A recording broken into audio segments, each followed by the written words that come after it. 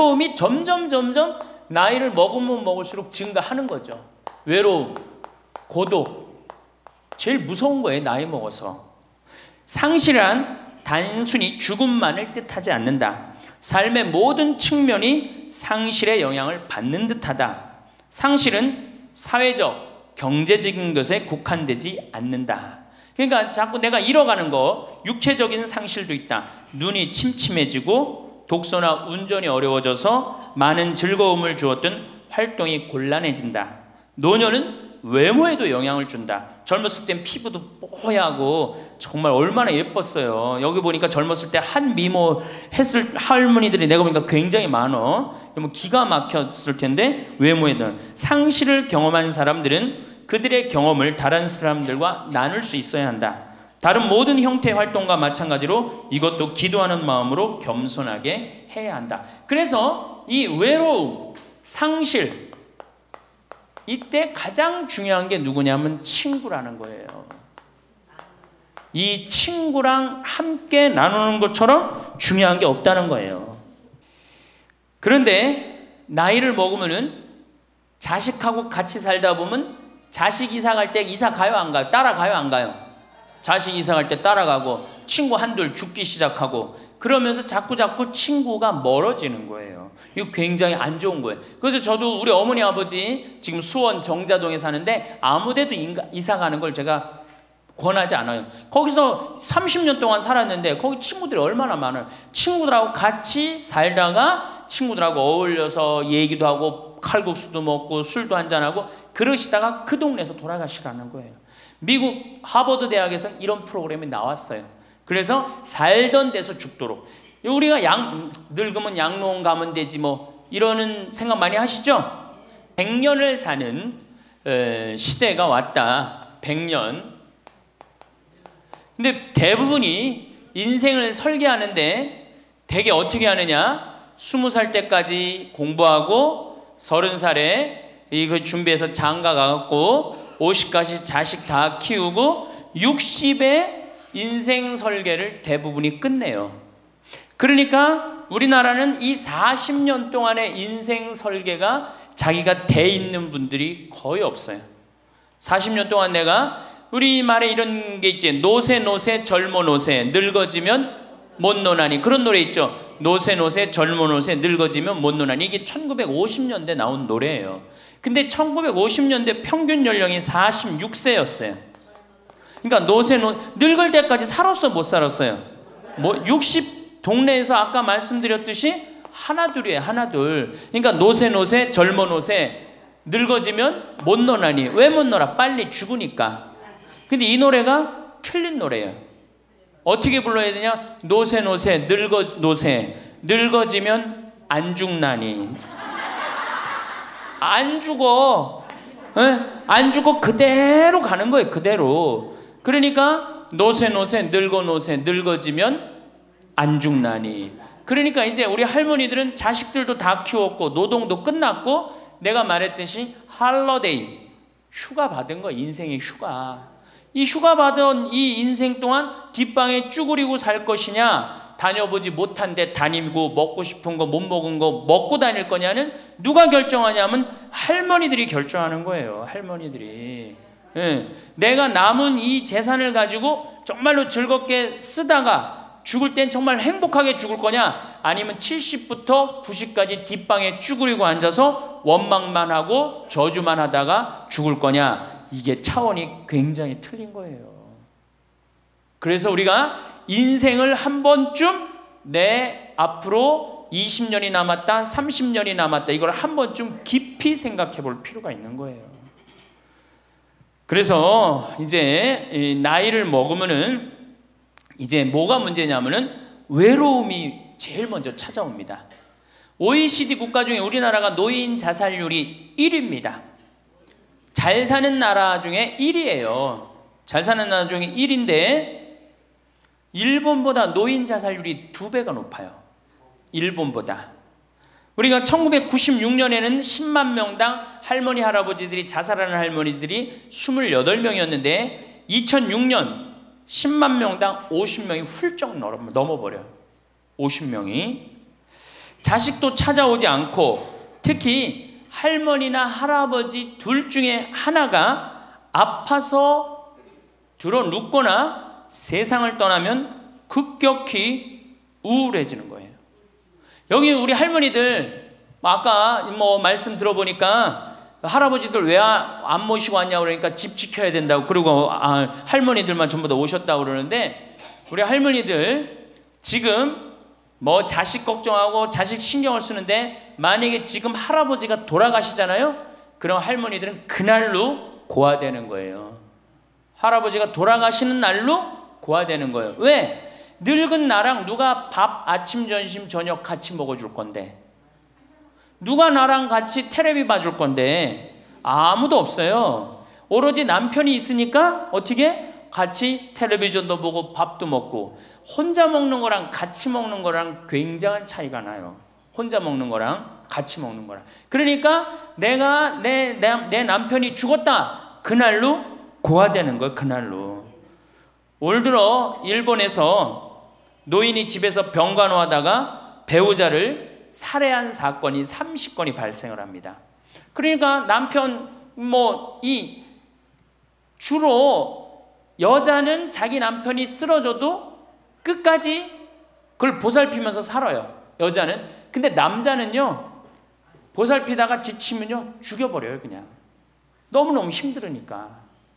그러니까 제일 좋은 건 뭐야? 제일 좋은 거는 남편이 먼저 죽고 그 다음날 여자가 따라 죽는 게 제일 좋은 거예요. 네. 할아버지가 먼저 죽고 그 다음날 할머니가 따라 죽는 게 제일 좋은 거예요. 그러니까 할머니들이 쓰러지면 안 돼요. 할아버지들이 쓰러지면 이게 돌보는데 할머니들이 쓰러지면 안 돼요. 그래서 범행 후 대부분 뭐라 그래? 병간호가 너무 힘들었다. 지쳤다. 그렇게 얘기를 합니다. 5월 26일에 올해 5월 26일에 부인을 살해한 할아버지가 89살 할아버지가 85살짜리 할머니를 죽였어요. 예. 이 할아버지가 대기업 출신으로서 정년퇴직하고 연금 생활까지 버젓이 하는 할아버지. 근데 지난 작년 9월부터 부인이 파킨스병에 걸린 거예요. 부인이 우울증까지 이제 겹쳐갖고 한층 어려운 상황이 됐어요. 근데 할아버지가 정말로 성실하게 보살폈어요. 근데 3월 달에 할아버지가 이게 넘어져 갖고 여기 대퇴부, 여기가 그냥 엉치뼈가 부러져 버린 거예요. 그러니까 이 병원 치료에도 불구하고 자꾸 자꾸 힘들어지니까 어떻게 결국은 남에게 패 끼치니 차라리 죽는 게 낫다. 그러고 그냥 죽여버린 거예요. 근데 이때 고배 이 판결이 어떻게 나왔느냐면은 할아버지가 할머니를 죽인 거를 엄중하게 추궁하면서도 부인이 병 때문에 이전과는 전혀 다른 사람이 된 것을 비관하여 동반 자살을 시도한 것에는 동정의 여지가 있다. 그러면서 3년 징역형을 하고 5년 집행유예를 내려요. 그러면서 마지막 할아버지한테 뭐라 그러냐면 할머니 명복을 빌어주라고. 그러니까 이제 감옥에는 앉는 거죠. 그래서 이제는 정말로 이 노년에 이게 지금 죽느냐 사느냐의 문제야. 외롭고 안 외로우냐의 문제. 이거 외로운 것처럼 무서운 병이 없어요. 제가 여기 생태마을에 이 혼자 밥 먹잖아요. 사정원에서 혼자 밥 먹어요. 그러면 혼자 밥 먹는 게 뭐가 재밌어요? 작년에 우리 집에 안식년하는 신부님이 두 분이 와 계신데 두 분하고 이렇게 밥 먹는데 밥 먹는 시간이 너무 재밌는 거예요.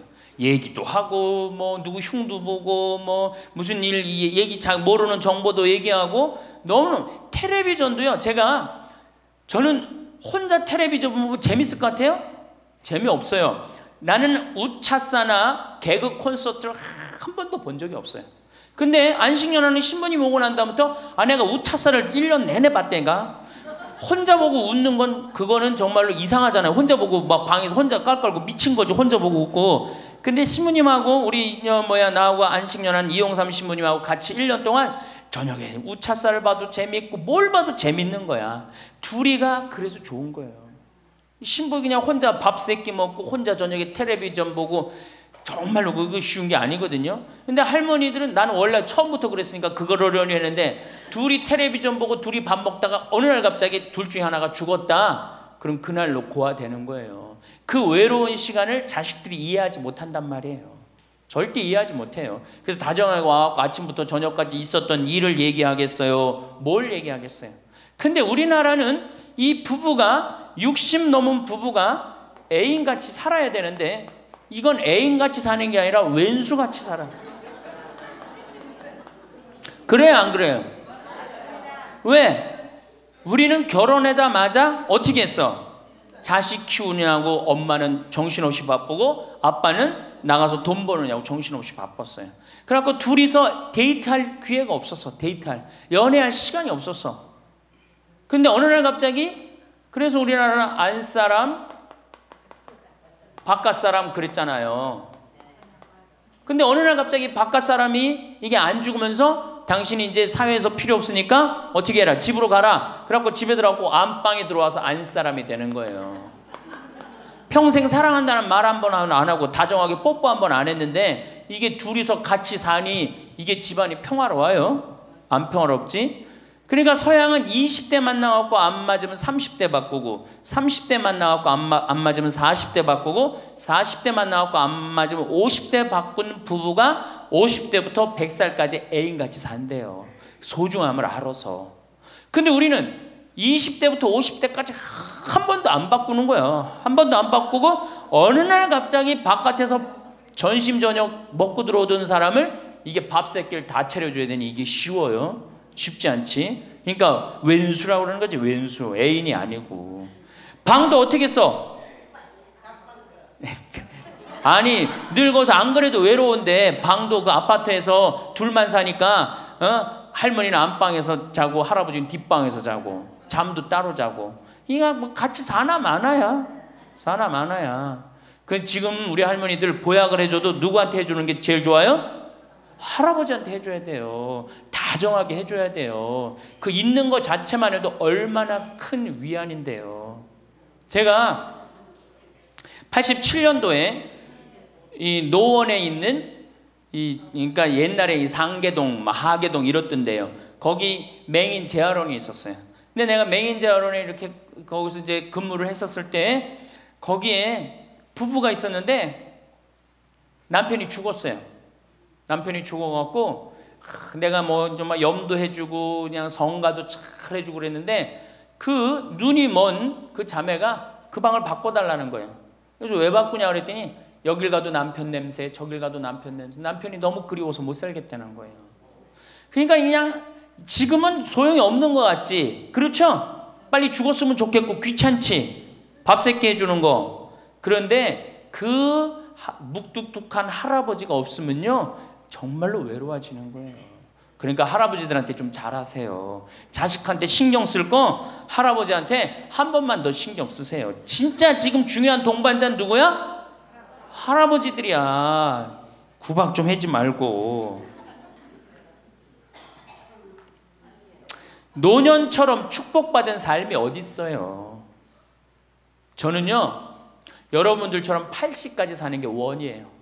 사는 게 얼마나 좋은데요. 사는 게. 제가, 제가 신학생 때 몸이 안 좋았어요. 건강이 안 좋았어요. 우리 뭐 15년 전에 우리 할머니들 나 봤을 때 내가 47kg였어. 47kg. 근데 지금 57kg야.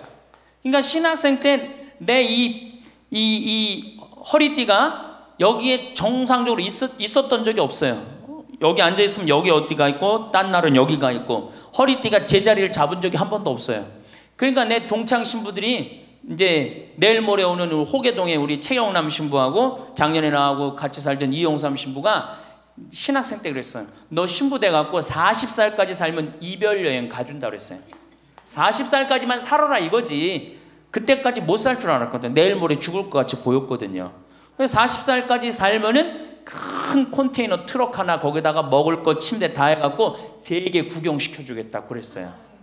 근데 내가 신부가 되고부터 건강해지기 시작하는 거예요. 아, 그러더니 그 비산동에서도 좀 건강해졌는데, 아, 이제는 여기 이제 평창에 와서 흙집에서 사니까 완전 건강해져, 완전 건강해진 거예요. 그래서 내 목표가 40에서 바뀌었어요. 80으로. 왜? 이게 건강하고 보니까 사는 게 너무너무 좋은 거예요. 밥도 맛있고 정말 매일매일 이렇게 행복할 수가 없어. 이게 오래 사는 건 큰 축복이에요. 할머니, 할아버지들 지금 6.25 전쟁 통해 안 죽었지, 교통사고로 안 죽었지, 암으로 안 죽었지, 지금까지 사는 건 하느님의 은총, 축복 아니면 지금까지 못 살아요. 이 좋은 축복의 시간을 어떻게 살아야 돼? 행복하게 살아야 될 거 아니야. 그러니까 행복한 방법을 잘 알아야 돼요. 근데 노년에는 스스로 잃어버리는 게 너무 많다고 생각을 해요. 나이를 먹을수록 우리는 더 많은 슬픔을 견뎌야 하고 더 많은 것을 잃는다. 상실은 그야말로 노년의 가장 두드러진 단면이다.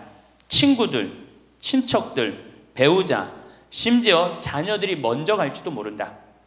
어제 100살 먹은 할머니 얘기를 들어보니까 자식들이 다 먼저 갔다는 거예요.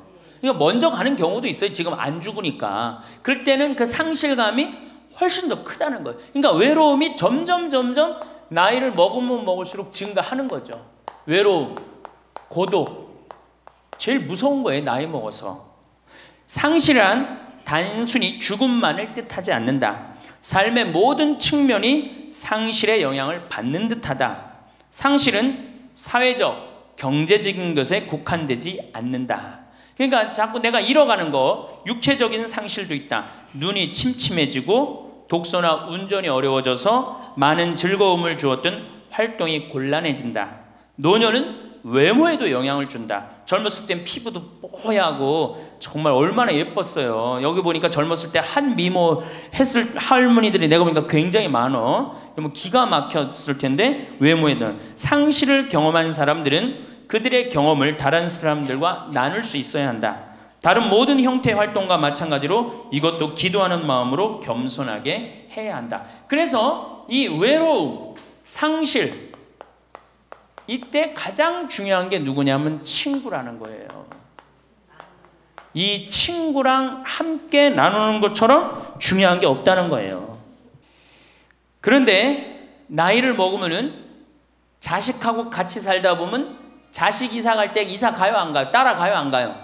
자식 이사 갈 때 따라가고 친구 한둘 죽기 시작하고 그러면서 자꾸 자꾸 친구가 멀어지는 거예요. 이거 굉장히 안 좋은 거예요. 그래서 저도 우리 어머니 아버지 지금 수원 정자동에 사는데 아무데도 이사 가는 걸 제가 권하지 않아요. 거기서 30년 동안 살았는데 거기 친구들이 얼마나 많아요. 친구들하고 같이 살다가 친구들하고 어울려서 얘기도 하고 칼국수도 먹고 술도 한잔하고 그러시다가 그 동네에서 돌아가시라는 거예요. 미국 하버드 대학에서 이런 프로그램이 나왔어요. 그래서 살던 데서 죽도록 우리가 양 늙으면 양로원 가면 되지 뭐 이러는 생각 많이 하시죠? 그런데 미국에서는 양로원 가는 게 10%도 안 돼요. 다 자기 살던 집에서 죽어요. 그게 가장 노년에 좋다는 거예요. 그러니까 할머니들도 어디 이사 갈 생각하지 말고 어떻게 살던 데서 살다가 죽는 게 제일 좋은 거예요. 누구랑? 친구랑. 아니, 손자가 같이 놀아줘. 아들이 같이 놀아줘. 손자는 학원 다니기 바쁘고 학교 다니기 바쁘고. 근데 언제 같이 놀아줘? 그놈의 손자한테 용돈 줄 돈 있으면 그 돈 가지고 친구하고 냉면 사 먹는 게 훨씬 나은 거예요. 정신 똑바로 차려. 지금 막걸리 먹고 해롱해롱 할 때가 아니에요, 지금.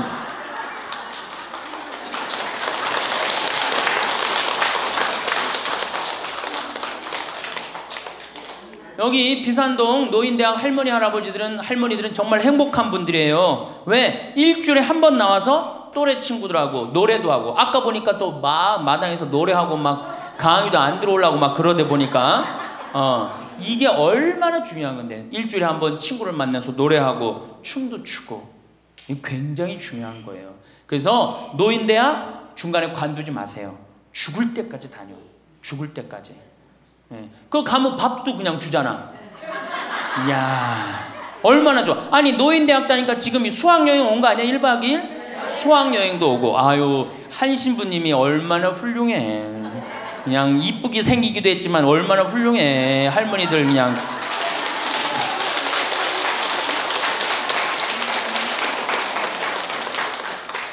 그래서 나는 우리나라 교육제도에 불만이 굉장히 많아요. 왜냐? 초등학교 6년, 중고등학교 6년, 대학교 4년 배워서 60까지 먹고 사는 거예요.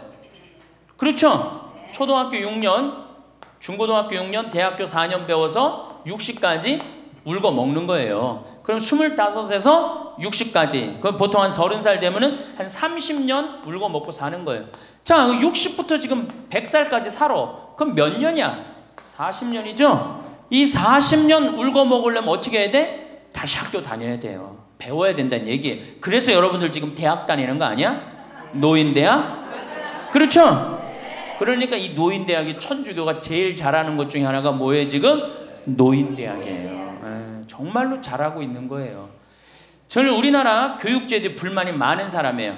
초등학교 6년, 중고등학교 6년, 대학교 4년을 배워서 60까지 산다면 60부터 100살까지 살려면 정규 학교가 생겨야 돼. 60부터 3년, 4년, 4년제 학교를 다녀야 돼. 그래서 지금 초등학교를 세우는 게 중요한 게 아니라 시니어, 노인 대학을 전부 다 동네마다 학교에 세워갖고 60살 되면은 아예 여기 의무 교육을 해야 돼. 4년 동안 배워갖고 나머지 100년, 40년 살 거를 재산 관리는 어떻게 하고 건강 관리는 어떻게 하고 친구 관리는 어떻게 하고 본인이 이제까지 살아온 그 재능을 어떻게 키워주는 거. 그래서 이 학교 안 나오면 살지 말어 100살까지.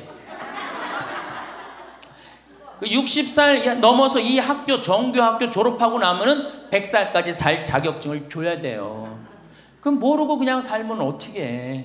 그래서 저는 이 정규 학교 우리나라가 진짜 훌륭한 나라 되려면은 60살 넘어서 동네마다 정규 학교 난 세워야 된다고 생각해. 그리고 이 졸업장을 가져야만이 100살까지 살아야 돼요. 지금 한심하게 사는 할머니들 얼마나 많아요. 응? 어, 어, 얼마 전에도 어떤 남편이 굉장히 훌륭한 남편인데 돌아가셨어요. 근데 재산을 확실하게 정리를 못하고 죽은 거예요. 그 할머니 혼자 남았는데 자식이 서로 재산 분가한다고 싸워갖고 재판에 걸어갖고 할머니가 여기 가서 재판정에 서고 저기 가서 재판정에 서고. 이게 학교를 졸업하지 못해서 그래. 이 정규 학교를. 우리나라가 이 정규 학교가 없어서 그래요. 그러니까 우리 할머니들은 이 학교를 다녀야 되는데 우리나라 지금 교육제도가 지금 안 하고 있잖아. 그러니까 안 하니까 성당의 정규 학교라도 다 노인대학 다니라 이거예요. 절대 관두지 마세요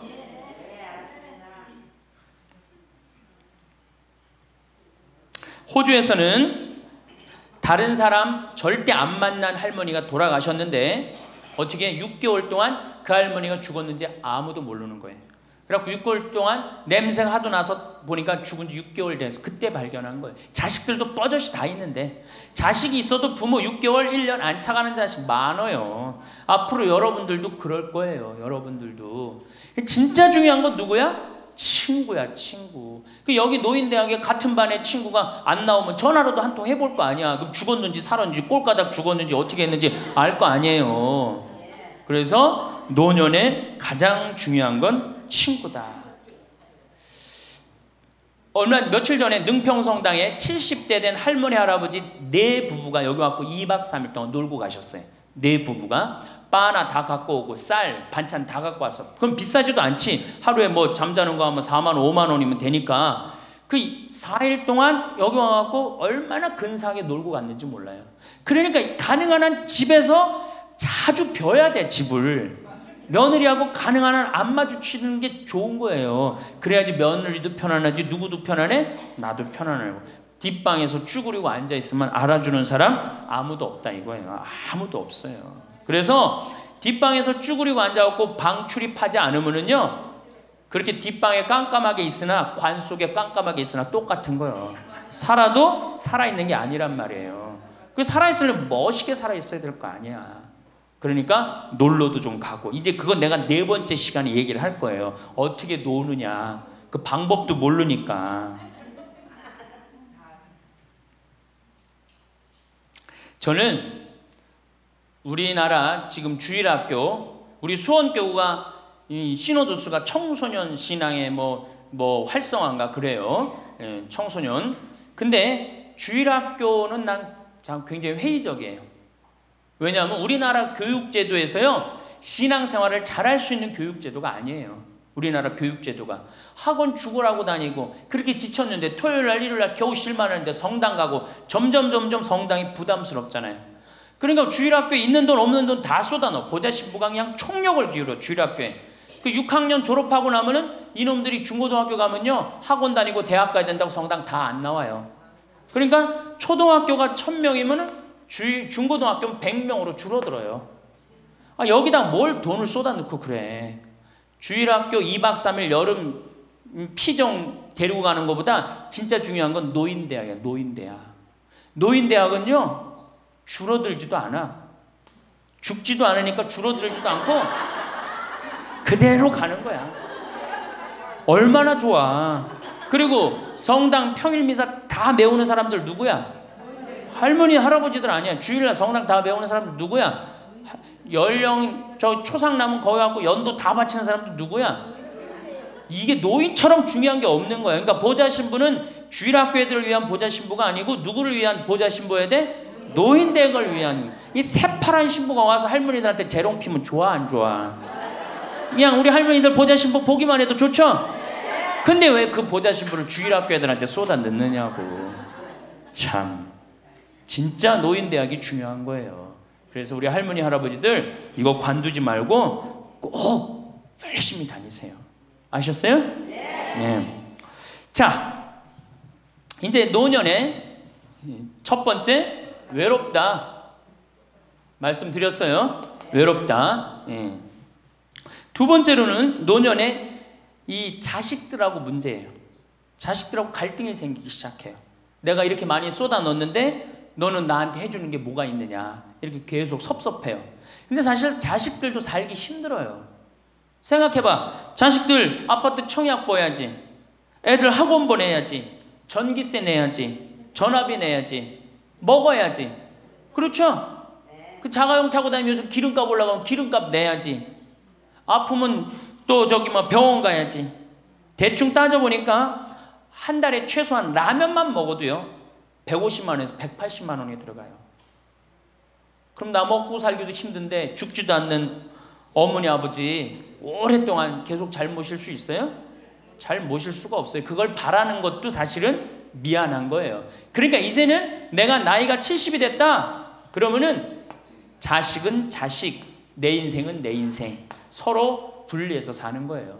내가 늙어서 자식한테 기대서 자식한테 피해 안 주는 게 결국 누구 도와주는 거야? 자식 도와주는 거예요. 혹시 여기 할머니 할아버지들 중에 할머니들 중에 내가 그런 의식이 있다. 내가 늙어서 자식한테 호강을 받아야 되겠다. 이런 의식이 있으면 빨리 버리세요. 이제 나 혼자 내 인생 살아가야 된다. 그게 가장 중요한 생각이에요. 그래야지 나중에 자식도 부모한테 계속 사랑을 할 수가 있어요.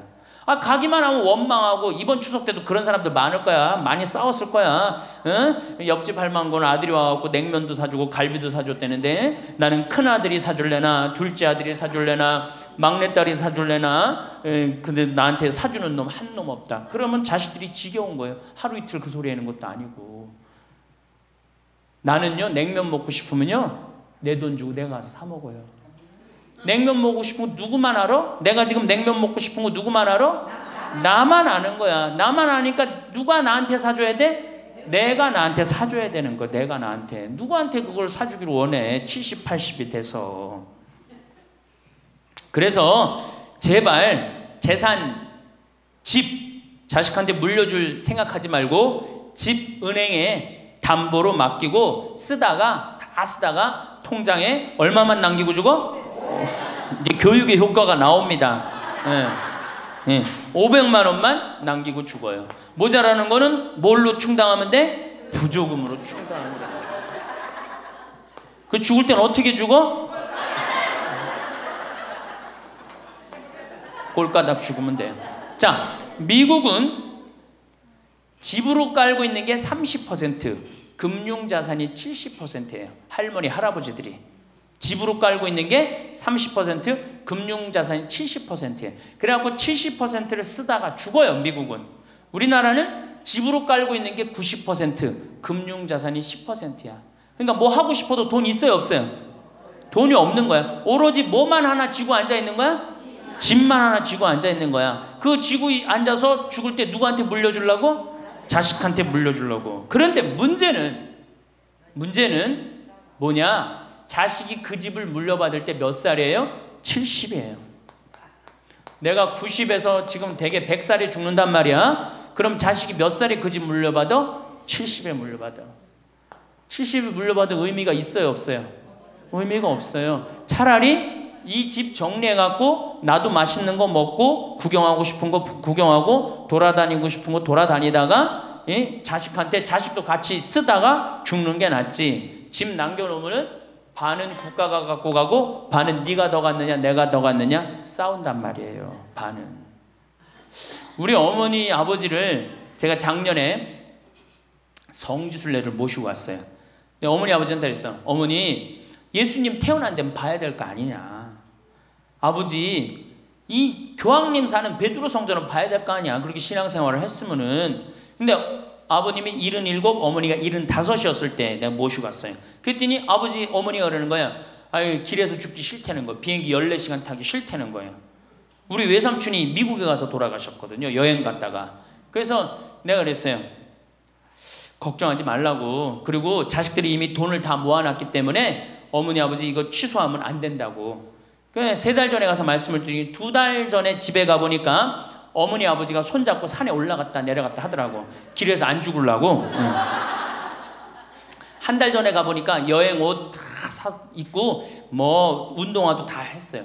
제가 여행을 모시고 갔는데 비행기에선 잘 자고 중간에 뭐 두 번에 밥 나오네 두 번 다 먹고 또 잘 주무시고 성지에 딱 그 순례를 하는데 제일 먼저 일어나고 제일 앞장서서 걸어가고 제일 잘 먹는 거 잠도 잘 자고 누가 77이라고 그래요. 그래갖고 토요일 날 밤 10시에 집에 들어왔어요. 한국에 들어와갖고 나하고 한 15분이 우리 어머니 아버지하고 성주순례를 갔는데 다음날 10시에 내가 전화를 했어요.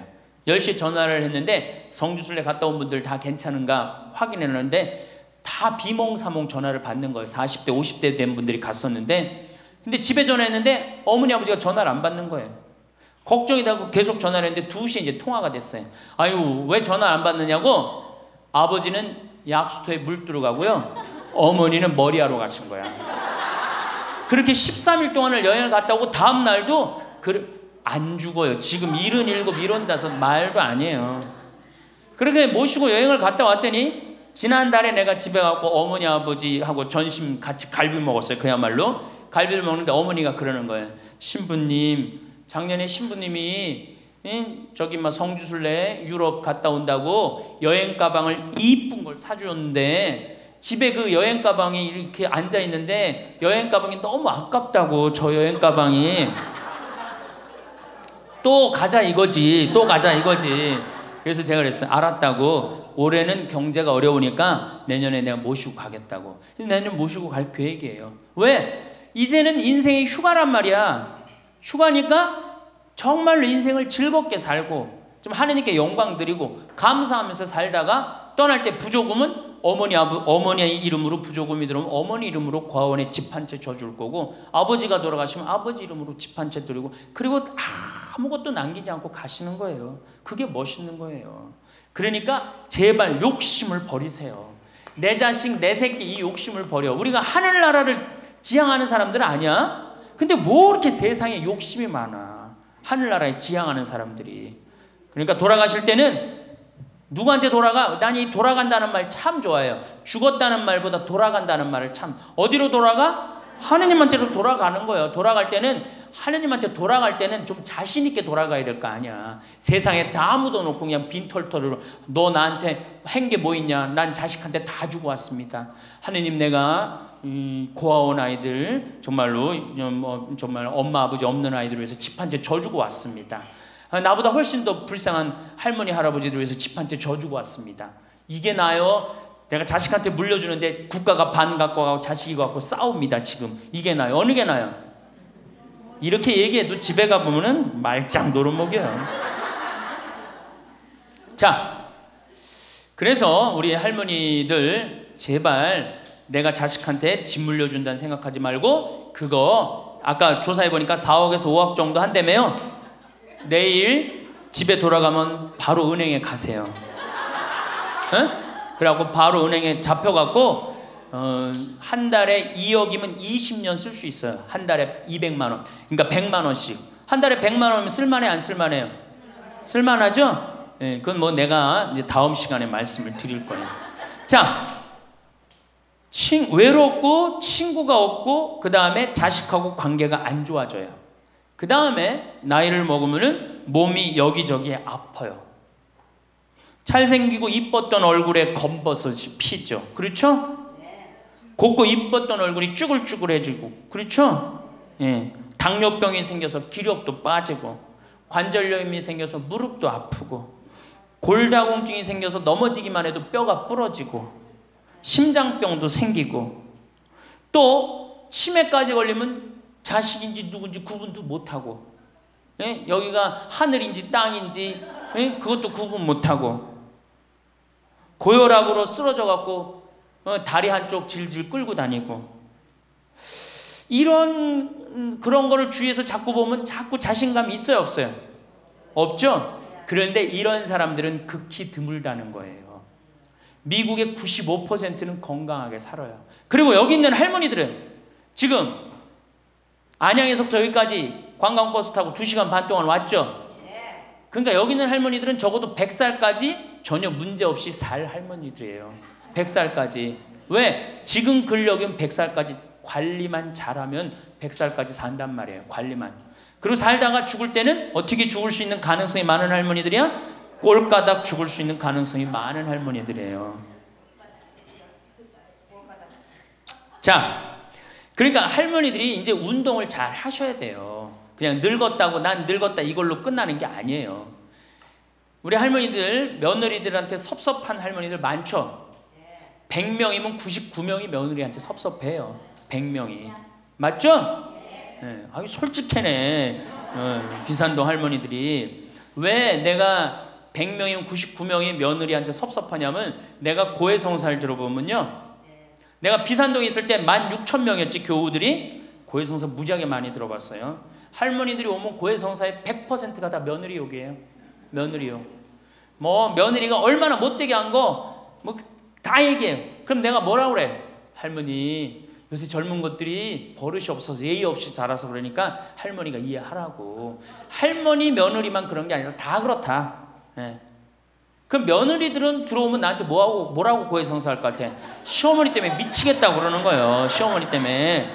그럼 내가 그 며느리들한테 뭐라고 그럴 것 같아요? 늙으면 다 그러니까 니네 집만 그런 게 아니다. 늙으면 다 그러니까 신경 쓰지 말아라. 제가 그래요. 어쩔 수 없는 거예요. 어쩔 수 없는 거예요. 자, 그런데 할머니들하고 며느리들하고 입장을 조금 생각을 해봐. 자, 우리 할머니들 자식들 키웠을 때, 막 키웠을 때 태어났어. 막 손가락에 꼬무락거리고 막 어, 저기 막 옹알이하고 이뻐요, 안 이뻐요? 아, 이놈이 일어났어. 뻗떡. 그래갖고 걸음 한 걸음 뛰었을 때 흥분돼요, 안 흥분돼요? 흥분되죠? 걸어. 그럼 기가 막히게 행복하죠? 뭐, 그 행복은 아마 생각해봐. 기가 막히게 행복했을 거야. 거기다 엄마라고 그래봐. 어때요? 아, 막 죽지. 엄마라고 그러면은. 막 죽어. 엄마라고 그러면은. 거기다가 이제 애가 가방 들고 막 학교 갔다가 뛰어왔다 하고 아 이놈이 키가 중학교 고등학교 됐는데 나보다 더 커져 뿌듯해요 안 뿌듯해요 이게 키우는 맛이요 보통 큰 맛이 아니에요 그런데 반대로 입장을 바꿔놓고 이제 생각을 해보면 우리 어머니가 70이 됐어 문을 열고 나오면은 아이고 아이고 아이고 그런단 말이야 자식 부모는 자식을 키우는 재미에 정말로 푹 빠져 있지만 자식은 부모가 죽어가는 걸 본단 말이야. 얘야 눈이 좀 안 보인다. 어, 보니까 백내장이 걸렸어. 눈이 또 났더니 얘야 무릎이 아프다. 그러니까 뭐 무릎에 여기 그냥 저기 물렁뼈가 다 없어졌고 그 뼈 수술해줬어.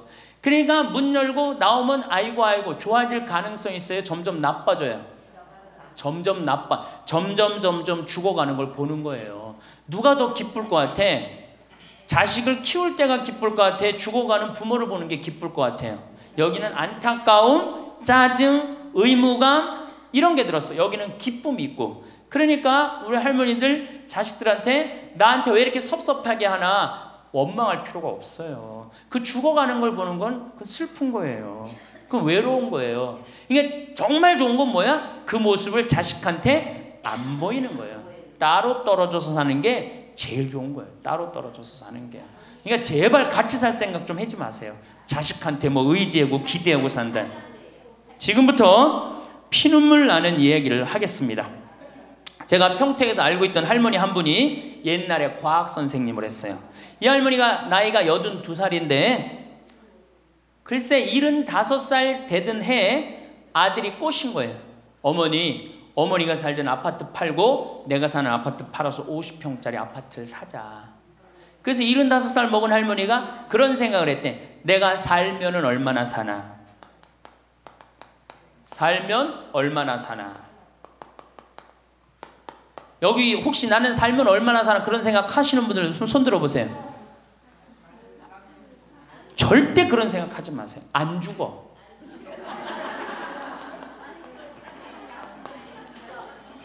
얼마 전에 102살 먹은 할머니한테 인터뷰를 했어요. 기자가. 할머니, 제일 후회스러운 게 뭐예요? 그랬더니 70살에 그랬대. 내가 삶은 얼마나 사나. 내일 모레면 죽겠지. 내일 모레면 죽겠지. 그런 생각을 했대요. 그래서 자식들이 어머니 어디 여행 갑시다. 그럼 내가 삶은 얼마나 사는데 무슨 여행이냐. 니네들이나 갔다 와라. 난 여기 있을 테니까. 그러는데 80이 돼도 안 죽더래요. 80이 돼갖고 그런 생각을 했대. 이젠 진짜 내일 모레면 죽을 거다. 내일 모레면 죽을 거다. 어머니, 내가 갈비 사드릴 테니까 갈비 니네나 먹으러 가라. 난 내일 모레면 죽을 건데 무슨 갈비가 필요하냐. 그리고 뒷방에 있었다는 거예요. 근데 90이 됐는데 그때도 안 죽더래요. 그래갖고 90이 돼갖고 진짜 내일 모레면 죽을 거다. 진짜 내일 모레. 그리고 100살까지 산 거예요, 이 할머니가. 제일 후회되는 게 뭐냐 그러니까 30년 동안 내일 모레면 죽을 거다. 그리고 뒷방에 앉아 있던 게 제일 후회된다는 거예요. 30년이 짧은 세월이에요. 그 30년 동안 돌아다니고 돌아다니고 먹고 싶은 거 먹고 만나고 싶은 친구 만나고 춤 노인대학에 나오면 춤 시간도 있죠. 춤도 치고 박수도 치고 그랬으면 그 30년이 축복의 30년이야. 저주의 30년이야. 축복이죠. 근데 그 할머니는 어떻게 사는 거야? 저주의 30년을 사는 거예요. 어쨌든 이 할머니가 내, 내가 삶은 얼마나 사나 손자 얼굴이나 보고 응? 자식이나 밥이나 먹고 같이 살아야 되겠다. 그리고 그 집을 팔아갖고 아들 이름으로 다 해주고 들어온 거예요. 들어오는 순간 자식하고 살아요? 누구하고 살아요? 며느리하고 살죠.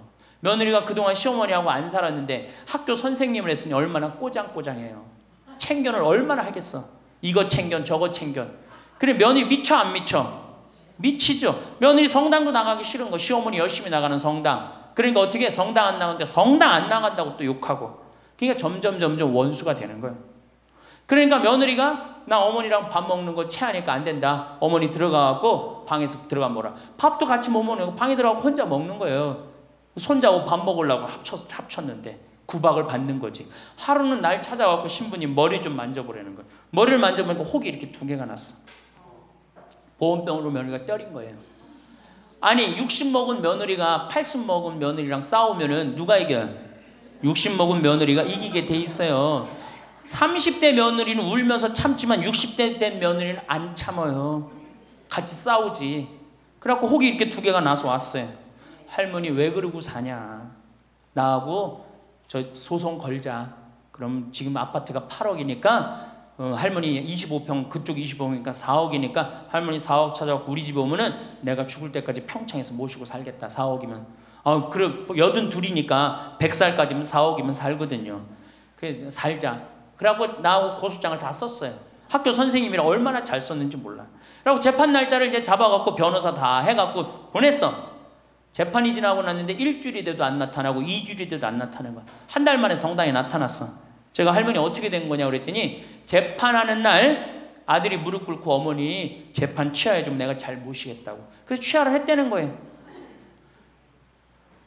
그게 취하를 한 거 그래 할머니 그럼 나한테 뭐야 그래 나를 나쁜 놈으로 만들었느냐? 자식 욕하고 며느리 욕하게 만들었느냐? 신부님 자식 이기는 부모 어디 있느냐고. 자식이 잘하겠다는데 어떻게 내가 그거를 우기느냐고 이미 여든 넘어서 자식 아니에요. 왼수예요, 왼수. 그래갖고 할머니 이제 자식한테 맞고 살던 나한테 찾아오지 말아라. 세 달 됐는데 새벽에 전화가 왔어. 신부님 저 마리아예요. 그래서 어떻게 된 거냐 할머니 왜 성당 요새 안 나타나느냐? 그랬더니 그 집에 사는 게 너무 괴로워서 스스로 전라도에 있는 양론에 들어간 거예요. 자식한테 재산을 주면 세 가지를 잃어버려요. 첫 번째 자식을 잃어버려요. 두 번째, 본인의 인생을 잃어버려요. 세 번째, 재산을 잃어버려요. 그러니까 우리 할머니들은 자식도 안 잃어버리고 인생도 안 잃어버리고 재산도 안 잃어버리려면 어떻게 해야 돼? 자식하고 따로 내가 가지고 있는 은행에 가서 담보로 넣고 그거 쓰다가 다 쓰다가 죽는 게 제일 좋은 거예요. 자식한테 피해 안 주고. 그러면은 아, 신부님 나 늙어서 죽을 때 어떻게 해? 늙으면은 남들이 알아서 해주겠지 이런 생각한단 말이야. 그래서 내가 항상 하는 얘기가 거지 근성을 버려라. 남들이 뭘 알아서 해줘. 나 늙은 나를 누가 책임져줘? 누가 책임져야 돼? 내가 책임져야 돼요. 그래서 내가 공부하고 내가 따라다니면서 배워야 돼. 그래서 60부터 64살까지 정규학교를 다녀야 돼. 이런 거 배우는 거. 근데 우리나라가 이 정규학교가 없는 게 너무너무 안타까운 거예요. 오늘도 황창현 신부님의 행복 특강 잘 들으셨나요? 이어서 나이 들수록 들으면 도움이 되는 지혜의 말씀을 들려드리겠습니다. 친구는 모든 것을 나눈다.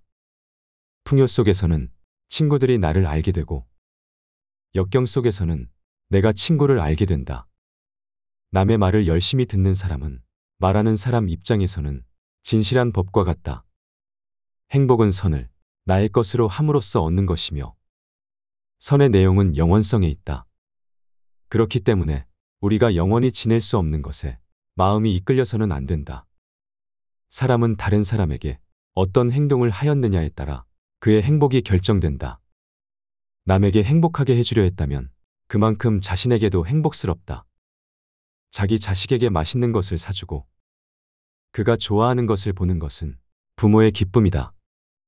이는 형제간, 친구간, 이웃간, 나아가 낯선 사람 사이에도 공통되는 이치이다.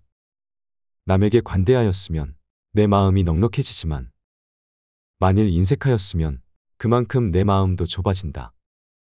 남을 때린 자는 밤잠을 이루지 못하는 법이다. 남에게 친절하고 관대한 것이 내 마음의 평화를 유지하는 길이다. 남을 행복하게 해줄 수 있는 사람이 또한 행복해진다. 플라톤은 행복하기 위한 조건 다섯 가지를 말했다. 첫째, 먹고 입고 살기에 조금은 부족한 듯한 재산.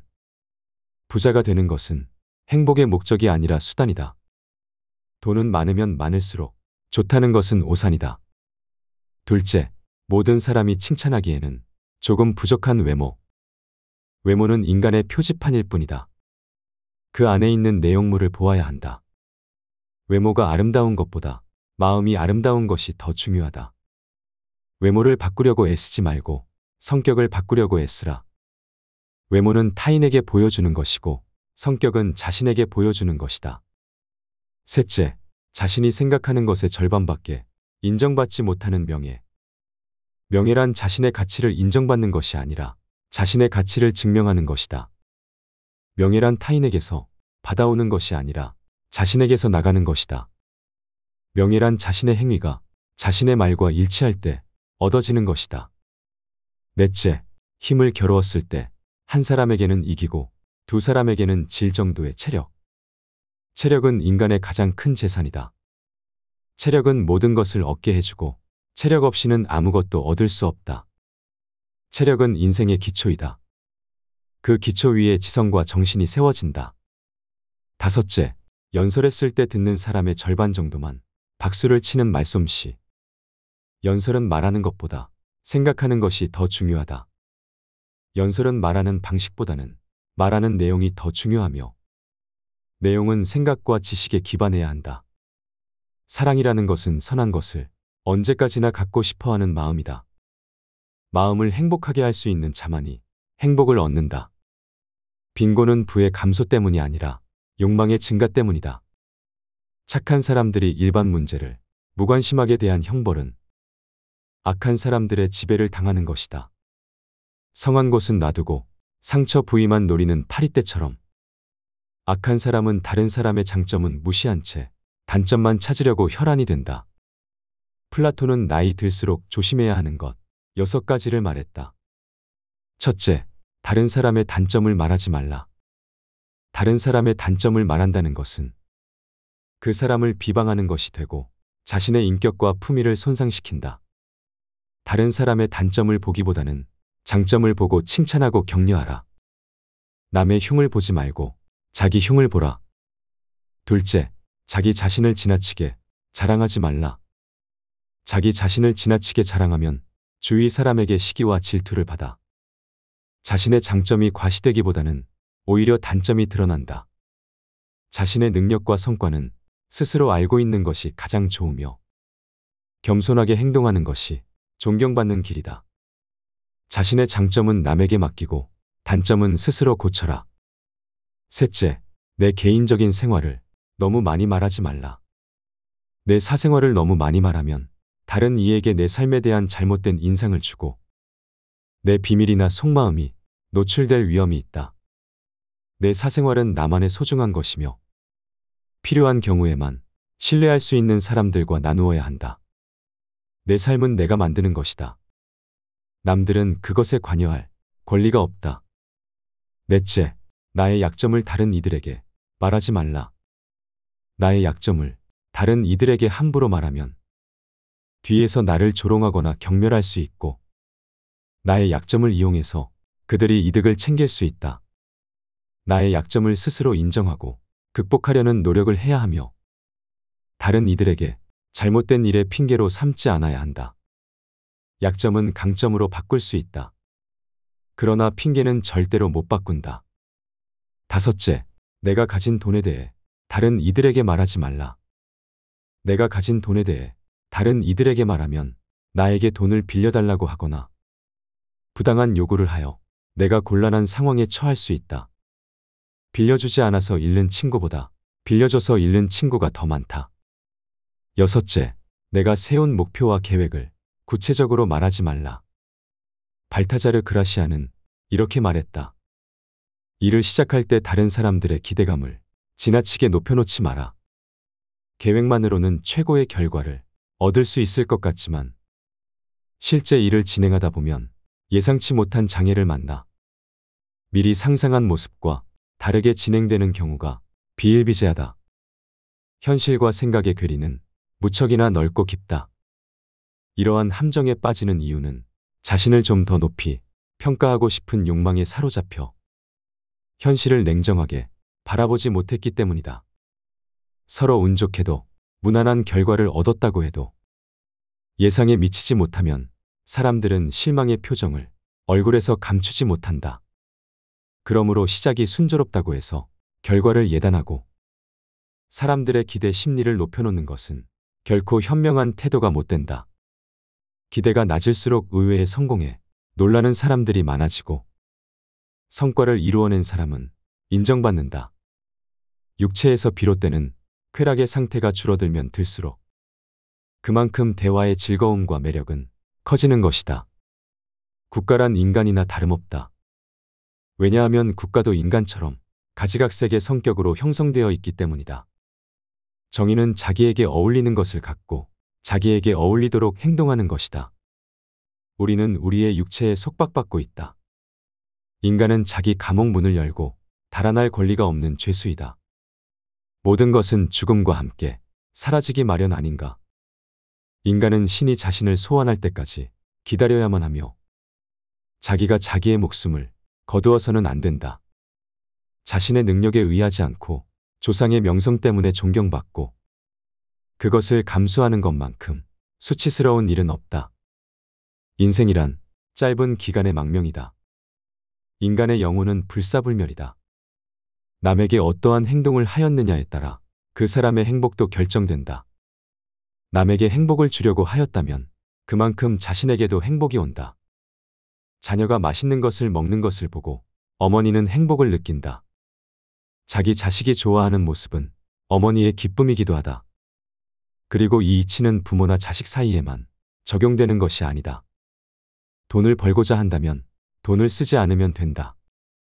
지혜, 용기, 전체가 조화될 때 정의가 실현되고 또한 만인의 행복을 보장하는 이상국가가 이루어질 수 있다. 지인들은 자신들도 이해하지 못하는 위대하고 지혜로운 말들을 짓거린다. 자제는 최대의 승리다. 필요는 발명의 어머니이다. 진실을 말하는 사람만큼 미움 받는 사람은 없다. 정의와 무관한 모든 지식은 지혜가 아니라 쓸모있는 지식이다. 인간은 교육에 의해서만 인간이 될 수 있다. 인간에서 교육의 성과를 제거하면 아무것도 남는 것이 없다. 청소년에게 일을 시킬 때는 다소 잘못이 있더라도 변명할 여지를 남겨주도록 하라. 혹독한 질책은 청소년을 얼어붙게 만든다. 재산이 훌륭한 위안자가 되어줄 수 있다는 것은 누구나 아는 사실이다. 철학자가 통치자이고 통치자가 철학자인 국가는 행복하다. 진정한 철학에 의해서만 국가도 개인도 정의에 도달할 수 있다. 진정한 철인이 통치권을 쥐거나 또는 통치자가 신의 은혜로 진정한 철인이 되지 않는 한 인간은 악에서 벗어날 수 없다. 용기란 일종의 구원이다. 정의란 각기 자기가 할 일을 다하고 타인을 방해하거나 간섭하지 않는 것이다. 악행에 대한 가장 큰 형벌은 범인을 더 나쁜 사람이 되게 만드는 것이다. 소년을 엄격과 폭력으로 가르치려 하지 말라. 그의 흥미를 허용하여 지도하라. 그렇게 하면 자기의 능력이 어디로 향하고 있는가 소년 자신이 찾게 된다. 미에 대한 사랑이 신들의 왕국의 질서를 세웠다. 그것은 자명한 일이다. 왜냐하면 추악에는 사랑이 없기 때문이다. 시험 받지 않는 삶은 살 가치가 없다. 무지는 모든 어려움의 근본 원인이다. 가장 큰 불행은 얻기 어려운 것에 마음을 두고 사는 것이다. 너희의 비애가 아무리 크더라도 세상의 동정을 받지 마라. 왜냐하면 동정 속에 경멸의 생각이 들어있기 때문이다. 철학자는 바닷속에 커다란 가오리와 같은 존재이다. 접근해서 만져보려 하면 언제나 깊이 잠들어 버린다. 최대의 승리는 자기 자신을 정복하는 것이다. 자기 자신에게 정복당하는 것은 최대의 수치다. 계속해서 진전을 보이는 사람이 있다면 그 사람을 결코 낙담시켜서는 안 된다. 그가 아무리 느리게 갈지라도 정치를 외면한 가장 큰 대가는 가장 저질스러운 인간들에게 지배당한다는 것이다. 여성의 아름다움에 대한 정답은 없다. 의무적으로 하는 운동은 몸에 해가 되지 않는다. 그러나 강제로 습득한 지식은 마음에 남지 않는다. 재판관은 젊어서는 안 된다. 판관은 자기의 이성의 판단에 의해서가 아니라 타인의 악의 본질을 오랫동안 관찰함으로써 그 악을 배워 알아야 한다. 지식이라는 것은 그의 안내역이 되어야 하며 개인적인 체험이 되어서는 안 된다. 부와 빈곤, 전자는 사치와 나태의 부모이고 후자는 인색과 악습의 부모이다. 결국 그것은 둘 다 불만의 어버이다. 자, 모든 사람의 마음 속에 온갖 종류의 새장이 있다고 가정하라. 어떤 새들은 무리를 지어 다른 새들로부터 이탈하며 어떤 새들은 무리를 이루고 어떤 새들은 외로이 어디론지 마음대로 날아가기도 한다. 이 새들이 곧 지식이며 우리들이 어렸을 때는 이 새장은 텅 비어 있었을 것이다. 그리고 인간이 이 우리 속에 어떤 종류의 지식을 넣고 보관해 두었다면 그는 지식의 대상이 되는 것들을 배우거나 발견했다고 말할 수 있을 것이다. 이것이 곧 아는 것이다. 정직은 부정직보다 돈에서 멀어지게 되어 있다. 올림픽 경기에서 우승하는 것보다 평생을 두고 국법을 잘 지켰다는 명성을 얻는 사람이 오히려 훌륭하다. 시작은 그 일의 가장 중요한 부분이다. 교육이 한 인간을 양성하기 시작할 때의 방향이 훗날 그의 삶을 결정할 것이다. 대개 올바른 답보다 올바른 질문이 더 중요하다. 우리의 영혼이 육체악에 물들어 있는 한 결코 만족이란 없다. 사람을 시험해 보려면 모든 재산을 박탈하고 부당하게 대해 보라. 재산을 박탈당한 것은 참지만 부당한 대우는 참지 못하는 사람이라면 가까이 두고 잘 대해 주도록 하라. 부당한 대우는 참지만 재산을 박탈당한 것에 불만을 사귀지 못하는 사람이라면 멀리하거나 피하도록 하라. 악한 사람을 사귀지 말라. 악인들은 그대를 보호막으로 삼는다. 누군가 당신에 대해서 나쁜 말을 한다면 아무도 그 말을 믿지 않을 것이라는 생각으로 살아라. 사람은 불의의 재물이 되는 것이 두려워서 그것을 비난하는 것이지. 불의를 저지르기 싫어서가 아니다. 마음이 현실을 만들어낸다. 우리는 마음을 바꿈으로써 현실을 바꿀 수 있다. 겉모습이란 속임수이다. 지혜로운 사람은 할 말이 있기 때문에 말하고 어리석은 사람은 뭔가를 말해야 하기 때문에 말한다. 사람은 사랑할 때 누구나 시인이 된다. 덕은 건강이다. 덕은 아름다움이다. 덕은 영혼의 좋은 존재 양식이다. 거기에 반해서 악덕은 병이다. 악덕은 추함이다. 악덕은 영혼의 나쁜 존재 양식이다. 정의가 없는 지식은 지혜라기보다는 교활함이라고 불러야 한다. 많은 일을 완벽하지 않게 하는 것보다 작은 일을 잘 끝내는 것이 낫다. 탁월함은 재능이 아니라 연습으로 얻어지는 기술이다. 우리가 탁월해서 바르게 행하는 것이 아니라 진실은 바르게 행함으로 탁월함을 얻게 되는 것이다. 악한 행위를 하는 사람은 다른 사람은 물론 자신에게 더 큰 상처를 입힌다. 가장 적은 것으로도 만족하는 사람이 가장 부유한 사람이다. 자기 부모를 섬길 줄 모르는 사람과는 벗하지 말라. 왜냐하면 그는 인간의 첫걸음을 벗어났기 때문이다. 결혼해라. 좋은 상대를 만나면 행복할 것이고, 나쁜 상대를 만난다면 철학자가 될 것이다. 결혼하는 편이 좋은가, 아니면 하지 않는 편이 좋은가를 묻는다면, 나는 어느 편이나 후회할 것이라고 대답하겠다. 누가 교육받은 사람인가? 첫째로, 교양 있는 사람이란 환경의 지배를 받는 사람이 아니라 환경을 지배하는 사람을 의미한다. 둘째로, 교양 있는 사람이란 어떤 경우에도 용감하게 행동하고 지적으로 생각하는 사람을 의미한다. 셋째로, 교양 있는 사람이란 모든 것을 명예롭게 처리하는 자. 다시 말해서 마음에 들지 아니하는 사람과 물건까지도 정정당당하게 처리하는 사람을 의미한다. 넷째로, 교양 있는 사람이란 쾌락을 절제하며 불행에 빠지지 않는 사람을 의미한다. 마지막으로 교양 있는 사람이란 성공 때문에 명예를 더럽히지 않는 사람을 의미한다. 나는 단 한 가지 사실만은 분명히 알고 있는데 그것은 내가 아무것도 알지 못한다는 것이다. 그 사람보다 내가 지혜가 있다. 왜냐하면 그 사람도 나도 아름답고 선한 것에 관해서는 아무것도 모르는 것 같은데. 그러나 그 사람은 모르면서도 무엇인가 아는 것처럼 생각하고 있고, 그와 반대로 나는 아무것도 모르기 때문에 그대로 모른다고 생각하고 있다. 그래서 나는 모르는 것을 모른다고 생각한다는 바로 그 조그만 점에서 그 사람보다는 내가 지혜롭다 할 것이다. 말 타는 기술을 늘리려면 사나운 말을 골라 타야 한다. 사나운 말을 탈 수 있게 되면 다른 말을 다스리는 것은 쉬운 일이다. 내가 그녀를 견뎌낼 수 있다면 아마 이 세상에서 다루지 못할 사람은 없을 것이다. 행복을 자기 자신 이외의 것에서 발견하려고 바라는 사람은 그릇된 사람이다.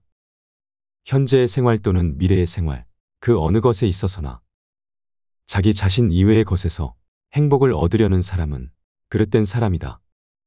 참된 견해를 갖고 있더라도 그것을 이해하지 못했다면 바른 길 위에 선 맹인일 뿐이다. 가질 수 있는 보물 중 좋은 평판을 최고의 보물로 생각하라.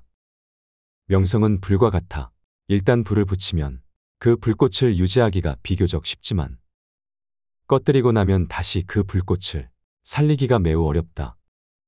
좋은 평판을 쌓는 방법은 당신이 보여주고 싶은 모습을 갖추기 위해 노력하는 것이다. 먼저 좋은 친구가 되어주는 것이야말로 사람들의 마음을 얻는 가장 훌륭한 방법이다. 세상을 외면하고 있을 때 내 벽을 뚫고 오는 사람들한테 신경 써라. 인간은 자기가 갇혀 있는 감옥의 문을 두드릴 권리가 없는 죄수다. 인간은 신이 소환할 때까지 기다려야 하며 스스로 생명을 끊어서는 안 된다. 가장 빠르게 덕이 높은 인간이 되기 위한 최선의 방법은 그렇게 되도록 자신의 수양을 쌓는 일이다. 덕이 높은 사람들을 보면 그들은 모두 스스로의 노력에 의하여 위대해졌다는 사실을 알게 될 것이다. 자신이 가진 것에 만족하지 않는 사람은 자신이 원하는 것에 만족하지 않을 것이다. 나는 잘 되겠다고 노력하는 그 이상으로 잘 사는 방법은 없고 실제로 잘 되어 간다고 느끼는 그 이상으로 큰 만족은 없다고 생각한다. 이것은 내가 오늘날까지 살아오며 경험하고 있는 행복이다. 그리고 그것이 행복한 것을 내 양심이 증명해 주고 있다. 내가 당하기 싫은 일은 하지 마라. 가장 나쁜 사람이 누군가? 그대가 줏대 없이 이리저리 마음이 흔들리도록 꼬드기는 사람이다. 아, 나의 아들이여. 내가 만일 부모의 근심을 모른다면 아무도 너의 벗이 되지 않을 것이다. 나의 집이 비록 작더라도 진정한 친구로 채울 수만 있다면 만족하겠노라. 우정은 느리게 시작하고 항상 유지해라. 사탕 발린 칭찬이 아닌 분별 있는 애정의 증표로 친구를 사귀라. 친구와 적은 있어야 한다. 친구는 충고를, 적은 경고를 해준다. 모든 언행을 칭찬하는 자보다 결점을 친절하게 말해주는 친구를 가까이 하라. 사냥꾼은 개로 토끼를 잡지만 아첨하는 자는 칭찬으로 우둔한 자를 사냥한다. 세상을 움직이려면 먼저 자기 자신을 움직여야 한다.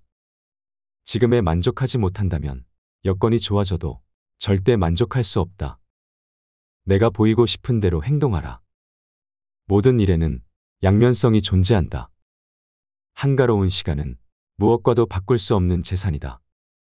난 가장 적은 욕심을 가졌으므로 신에 가장 가까운 존재다. 이별의 시간이 왔다. 우린 각자의 길을 간다. 나는 죽고 너는 산다. 어느 것이 더 좋은가는 신만이 안다.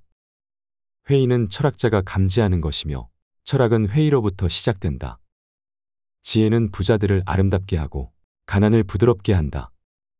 토론이 끝나면 패자는 중상모략을 하기 마련이다. 지혜는 호기심에서 나온다. 만족은 천연의 재산이다. 내 자식들이 해주기 바라는 것과 똑같이 내 부모에게 행하라. 살기 위해 먹어야지 먹기 위해 살아선 안 된다. 어려서 겸손해져라. 젊어서 온화해져라. 작년에 공정해져라. 늙어서는 신중해져라. 한 가지 일에 착수하면 중도에서 그만두지 말고 열심히 완벽을 기할 때까지 힘들여 완성토록 하라. 알고 있다는 것은 내가 모른다는 걸 안다는 것이다. 이게 진정한 지혜다. 이 세계는 정의에 의해 존재한다. 정의가 없다면 이 세상에 어떤 피조물도 존재할 수 없다.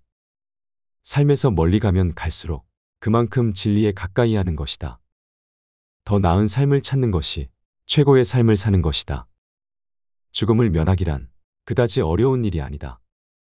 오히려 비굴함을 면하기가 훨씬 더 어렵다. 그것은 죽음보다 더 빨리 달리기 때문이다. 우리가 존중해야 하는 것은 단순한 삶이 아니라 올바른 삶이다. 유일한 선은 알미요. 유일한 악은 무지이다. 인간사에는 안정된 것이 하나도 없음을 기억하라. 그러므로 성공에 들뜨거나 역경에 지나치게 의기소침하지 마라. 죽음은 인간이 받을 수 있는 축복 중 최고의 축복이다. 인생의 시초는 곤란이다.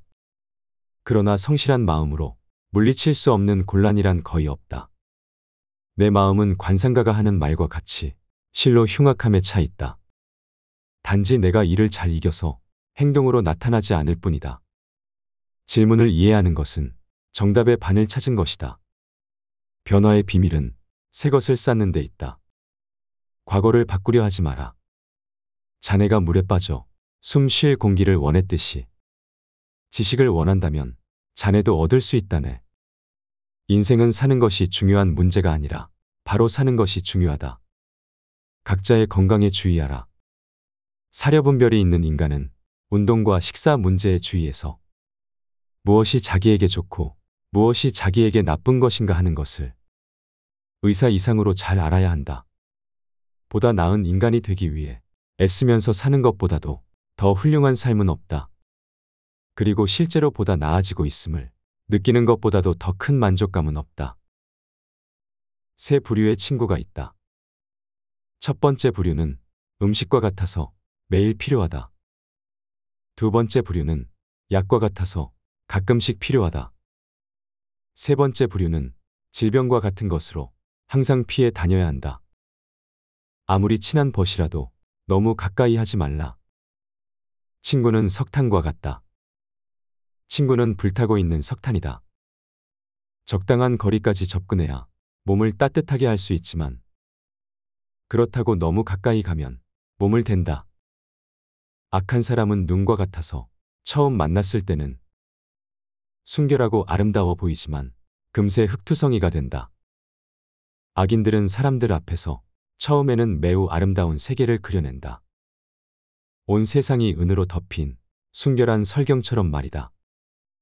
그러나 현실이라는 태양이 비치면 눈은 녹아 사라지고 온통 진흙투성이에 나쁜 세계가 펼쳐지게 된다. 악인이 나에게 아름다운 세계를 그려 보이더라도 결코 속아서는 안 된다. 다음 날 눈을 뜨면 진흙투성이의 세계로 변해 있을 테니까 말이다. 애매한 친구보다 분명한 적이 낫다. 우리가 가장 상대하기 힘든 것이 이도저도 아닌 애매한 친구이다. 진정한 친구인가 아니면 적인가를 도무지 구별할 수 없는 사람은 상대하기 곤란하다. 인간은 친구를 만나면 누구나 속마음을 털어놓게 된다. 그런데 그 친구가 적인 것을 분명히 알고 있으면 그 적이 자기에게 요구하는 것과 요구하지 않는 것을 확실하게 알 수 있다. 그러므로 상대와 사귈 때 애매모호한 자세로 친구인 양하는 것은 비겁한 짓이다. 그러므로 애매모호한 친구보다는 차라리 확실한 적이 낫다. 나쁜 곳에 가서는 돈 주머니를 잘 단속하라. 인간은 선한 마음에 의해서 가끔 경계심을 풀게 된다. 돈 주머니를 빼앗기고 나서는 때는 이미 늦었다. 나쁜 환경에 있는 자에 대해서는 항상 경계하여야 한다. 향수 가게에서 일을 하다 보면 향수 냄새를 풍긴다. 인간은 같이 생활하는 사람의 영향을 받는다.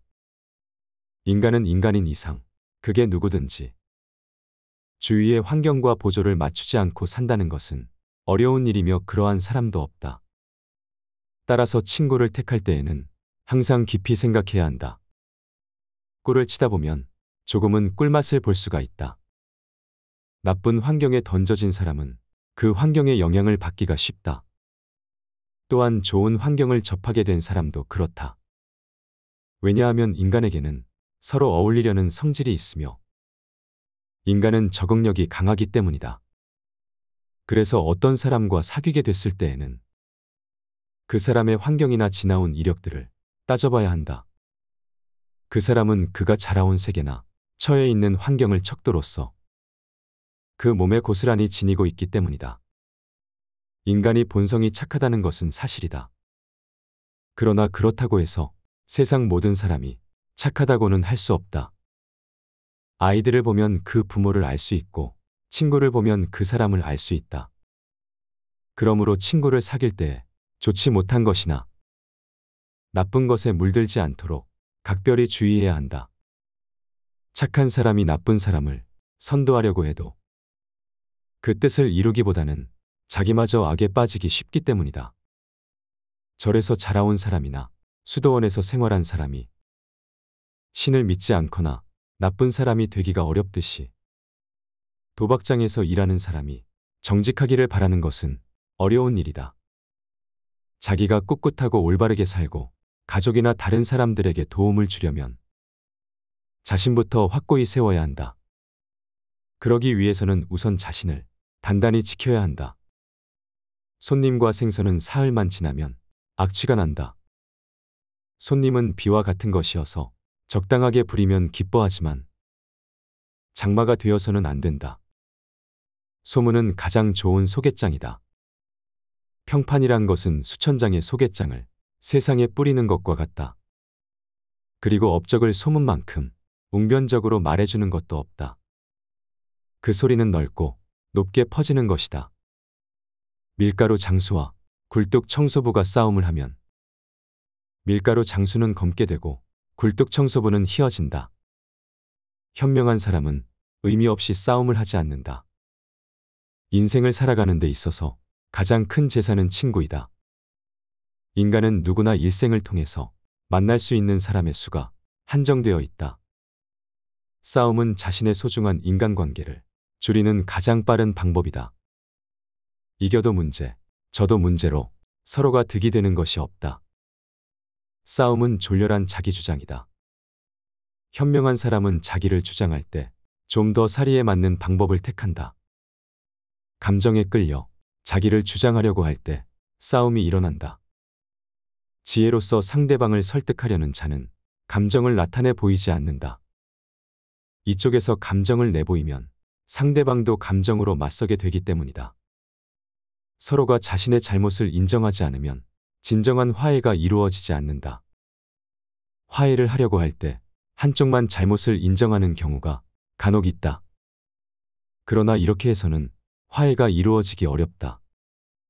왜냐하면 타협으로부터 화해가 이루어지는 것이므로 양쪽이 모두 자신들의 잘못을 시인하여 대립 관계에서 벗어나 대등 관계로 바뀌어져야 하기 때문이다.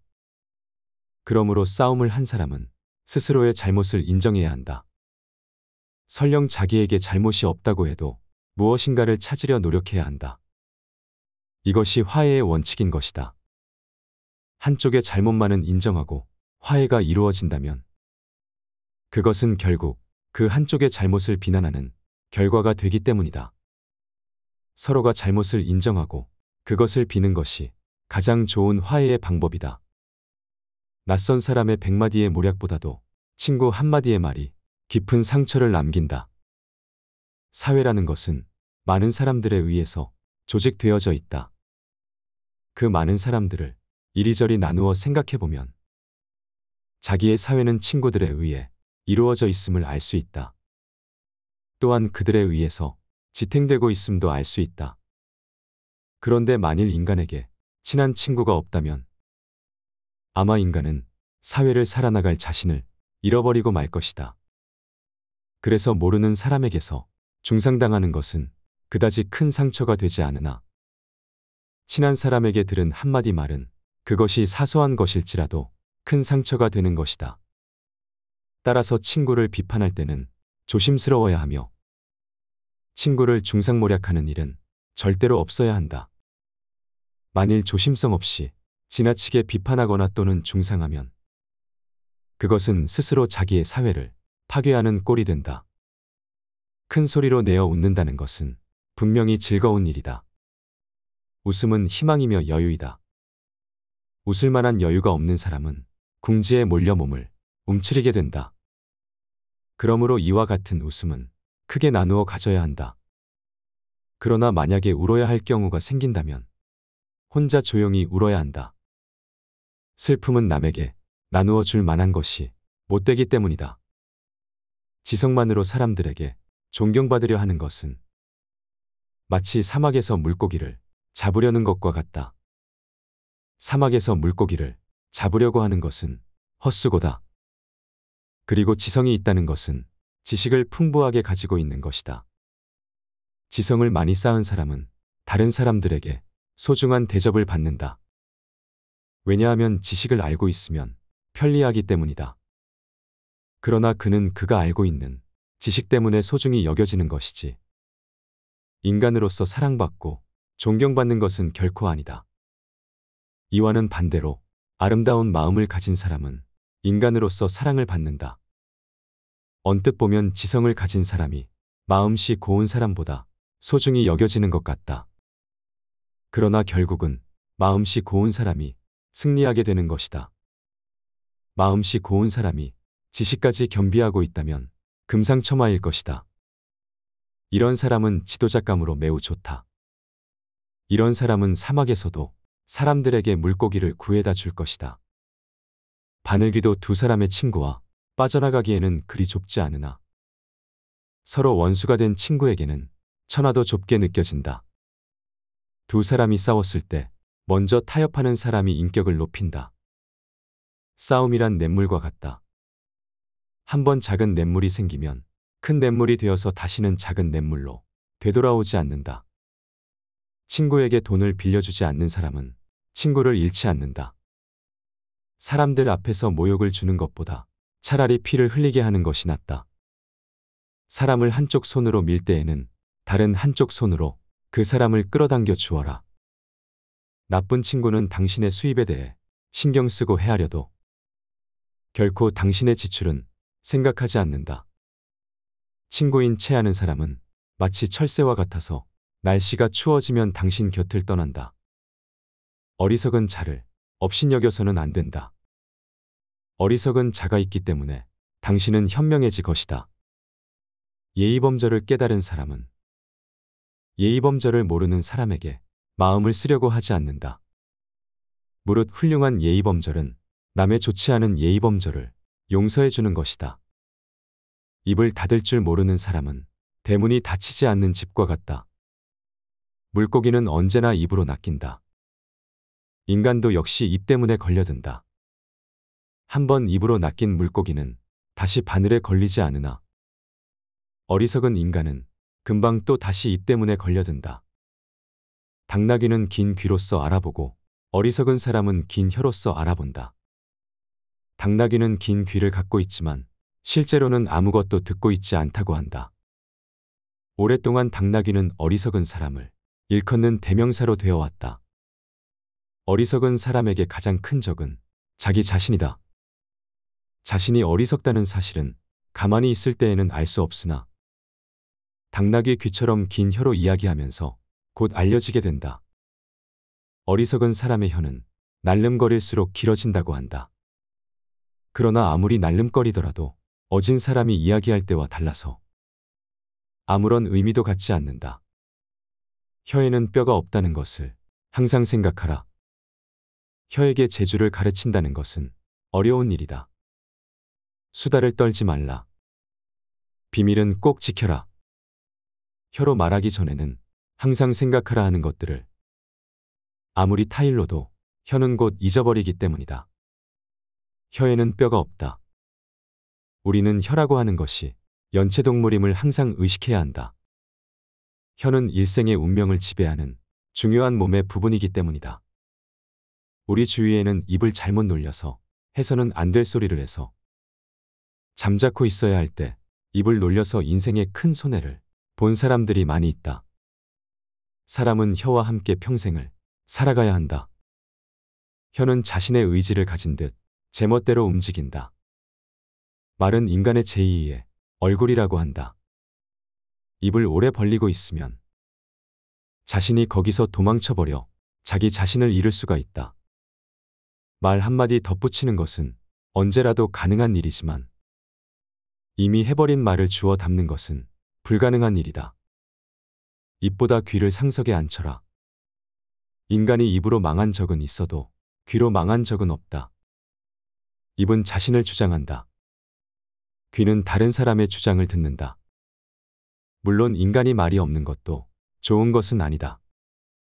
자신을 주장하지 않고 살아갈 수 없기 때문이다. 인간은 자신을 남에게 강요하려는 기질이 강하다. 그래서 인간은 수다를 떨게 되는 것이다. 따라서 아무리 수다를 경계한다고 하더라도 그것은 결코 지나친 것이 아니다. 동물에게 눈과 귀가 두 개인 이유는 주위의 사물을 잘 보고 소리를 잘 들어야만 생존할 수 있기 때문이다. 잘 보고 잘 듣는 것이 동물을 지켜주는 것임을 생각할 때 우리의 일상생활에도 교훈이 될 것이다. 새장으로부터 도망친 새는 붙잡을 수가 있으나 입에서 나간 말은 붙잡을 수가 없다.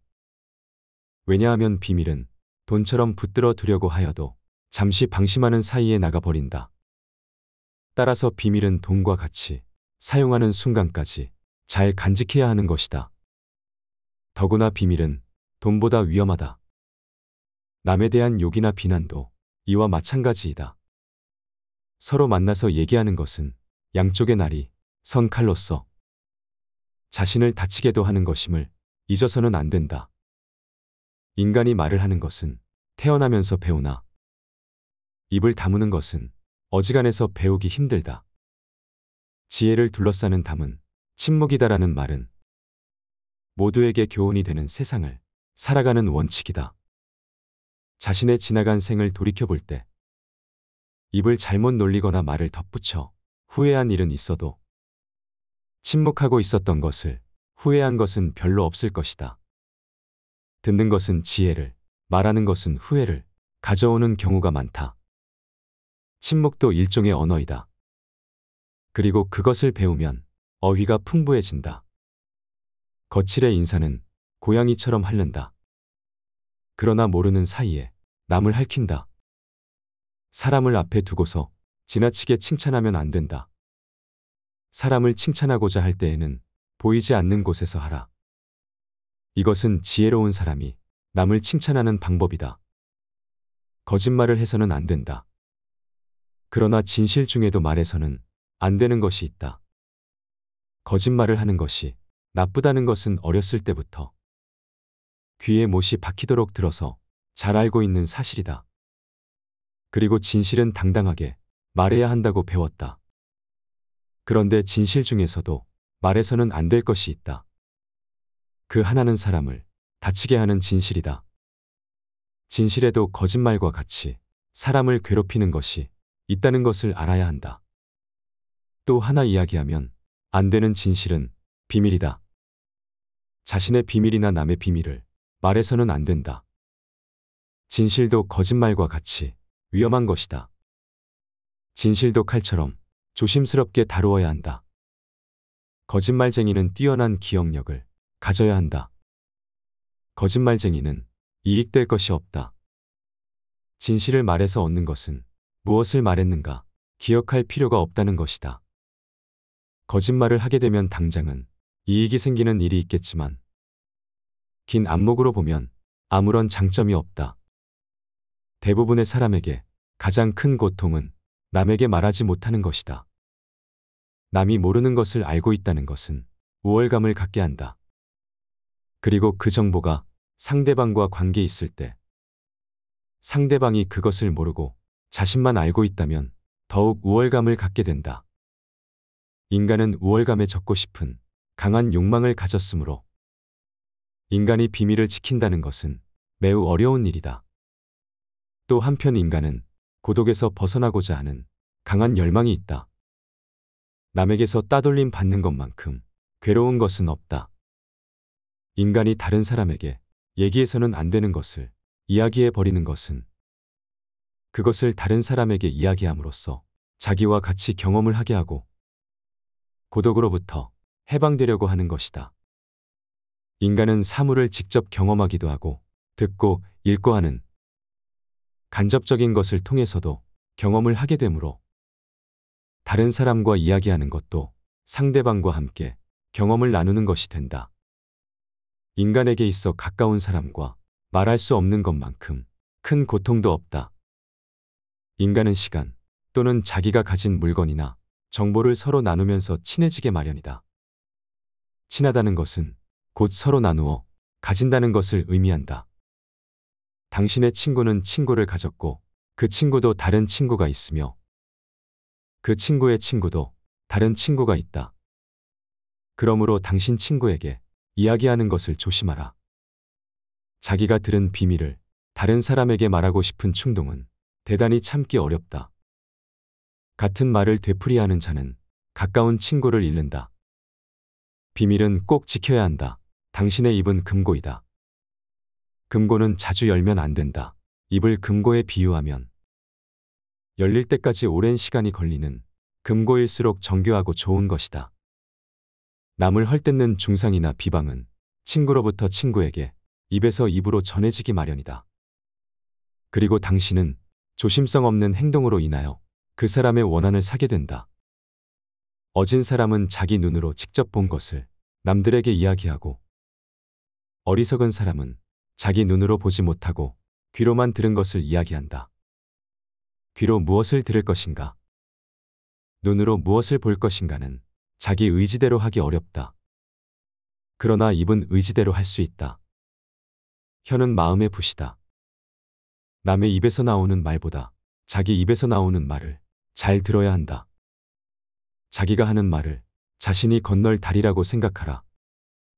그리하면 튼튼한 다리가 아니라면 당신은 건너지 않을 것이다. 고약한 혀는 고약한 손보다 나쁘다.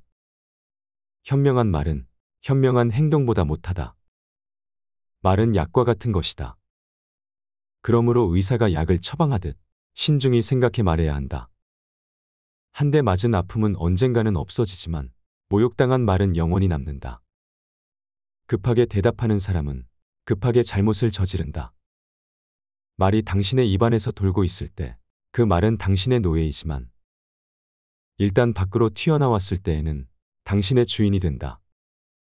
밤에 이야기를 할 때는 소리를 낮추고 낮에 이야기를 할 때는 주위를 살펴보아라.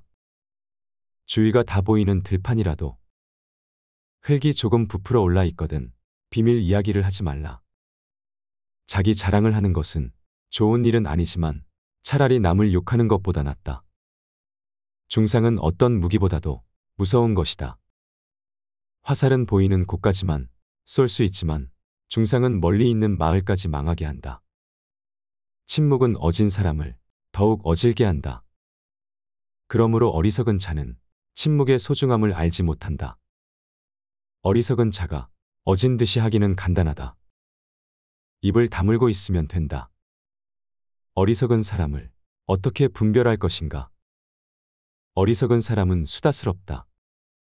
짓거리기를 잘하는 어리석은 자는 엉뚱한 시간을 가리키는 시계와 같고 말없이 가만히 있는 어리석은 자는 고장 나서 움직이지 않는 시계와 같다. 둘 중에 후자가 훨씬 낫다.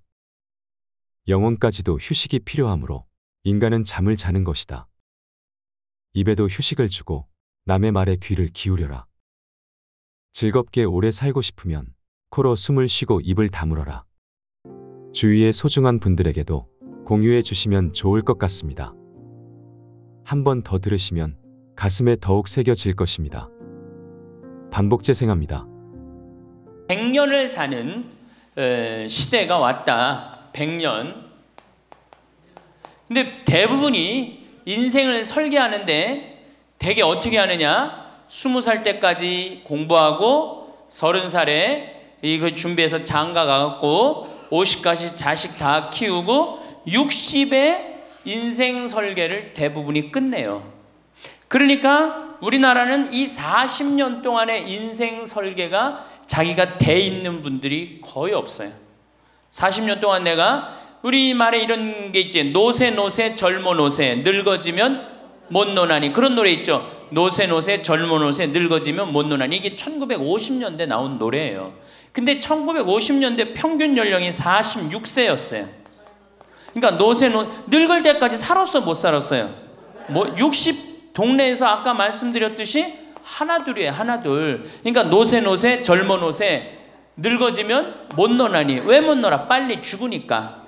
근데 이 노래가 틀린 노래예요 어떻게 불러야 되냐 노세 노세 늙어 노세 늙어지면 안 죽나니 안 죽어 에? 안 죽어 그대로 가는 거예요 그대로 그러니까 노세 노세 늙어 노세 늙어지면 안 죽나니. 그러니까 이제 우리 할머니들은 자식들도 다 키웠고 노동도 끝났고 내가 말했듯이 할러데이 휴가 받은 거 인생의 휴가.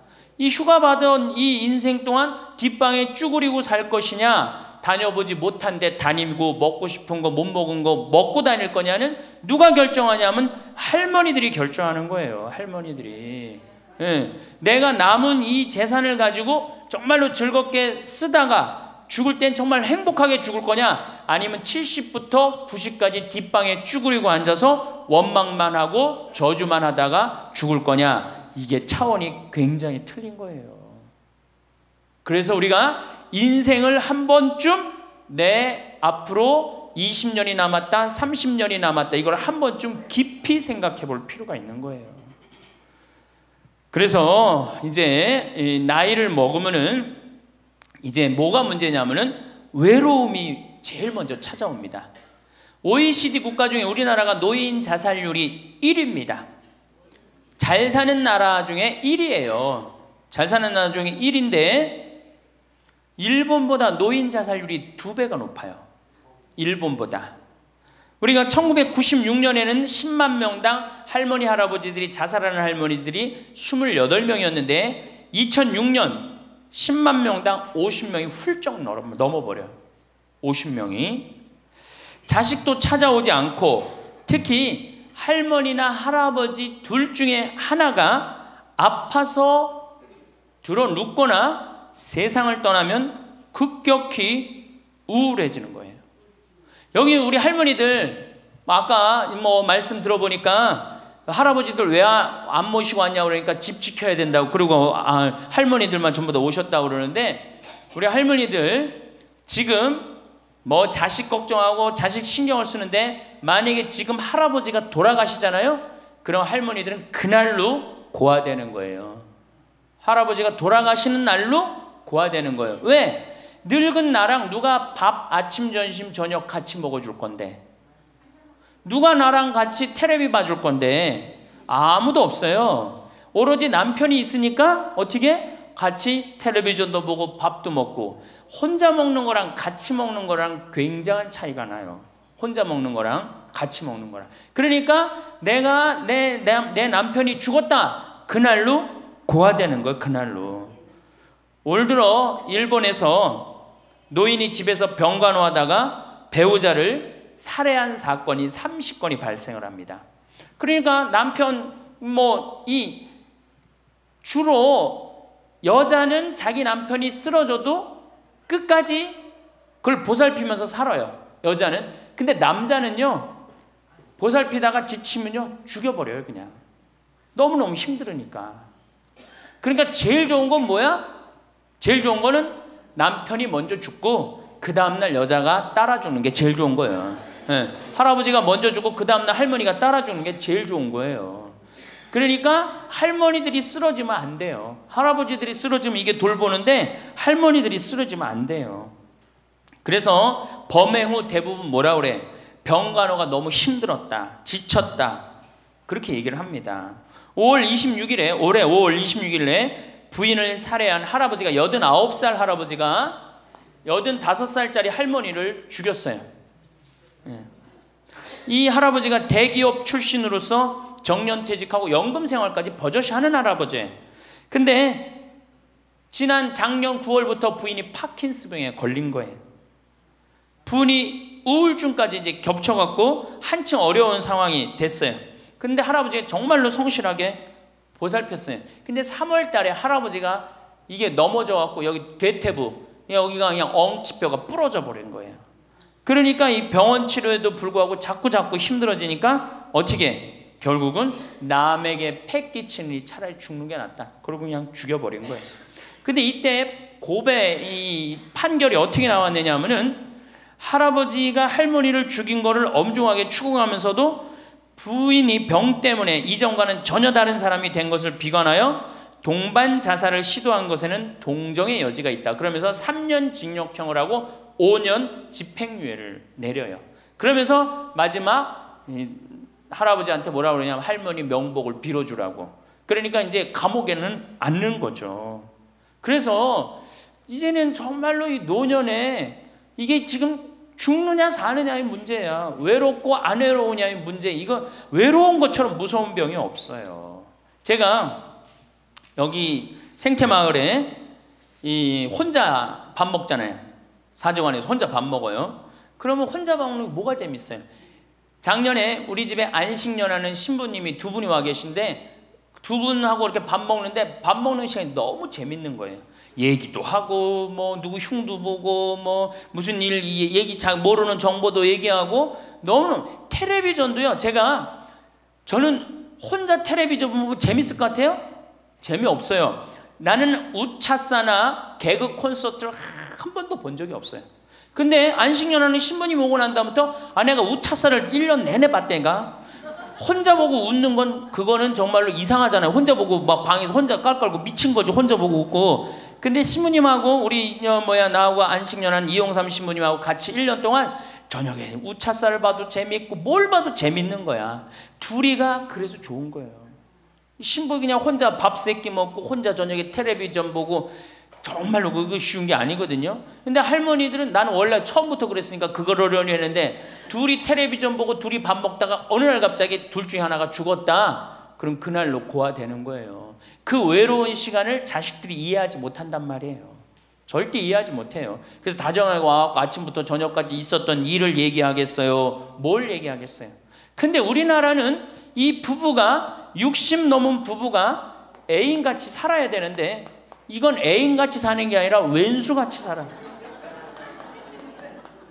그래요, 안 그래요? 왜? 우리는 결혼하자마자 어떻게 했어? 자식 키우느냐고 엄마는 정신없이 바쁘고 아빠는 나가서 돈 버느냐고 정신없이 바빴어요. 그래갖고 둘이서 데이트할 기회가 없었어. 데이트할. 연애할 시간이 없었어. 근데 어느 날 갑자기 그래서 우리나라는 안사람, 바깥 사람 그랬잖아요. 근데 어느 날 갑자기 바깥 사람이 이게 안 죽으면서 당신이 이제 사회에서 필요 없으니까 어떻게 해라 집으로 가라 그래갖고 집에 들어가고 안방에 들어와서 안 사람이 되는 거예요 평생 사랑한다는 말 한 번 안 하고 다정하게 뽀뽀 한 번 안 했는데 이게 둘이서 같이 사니 이게 집안이 평화로워요? 안 평화롭지?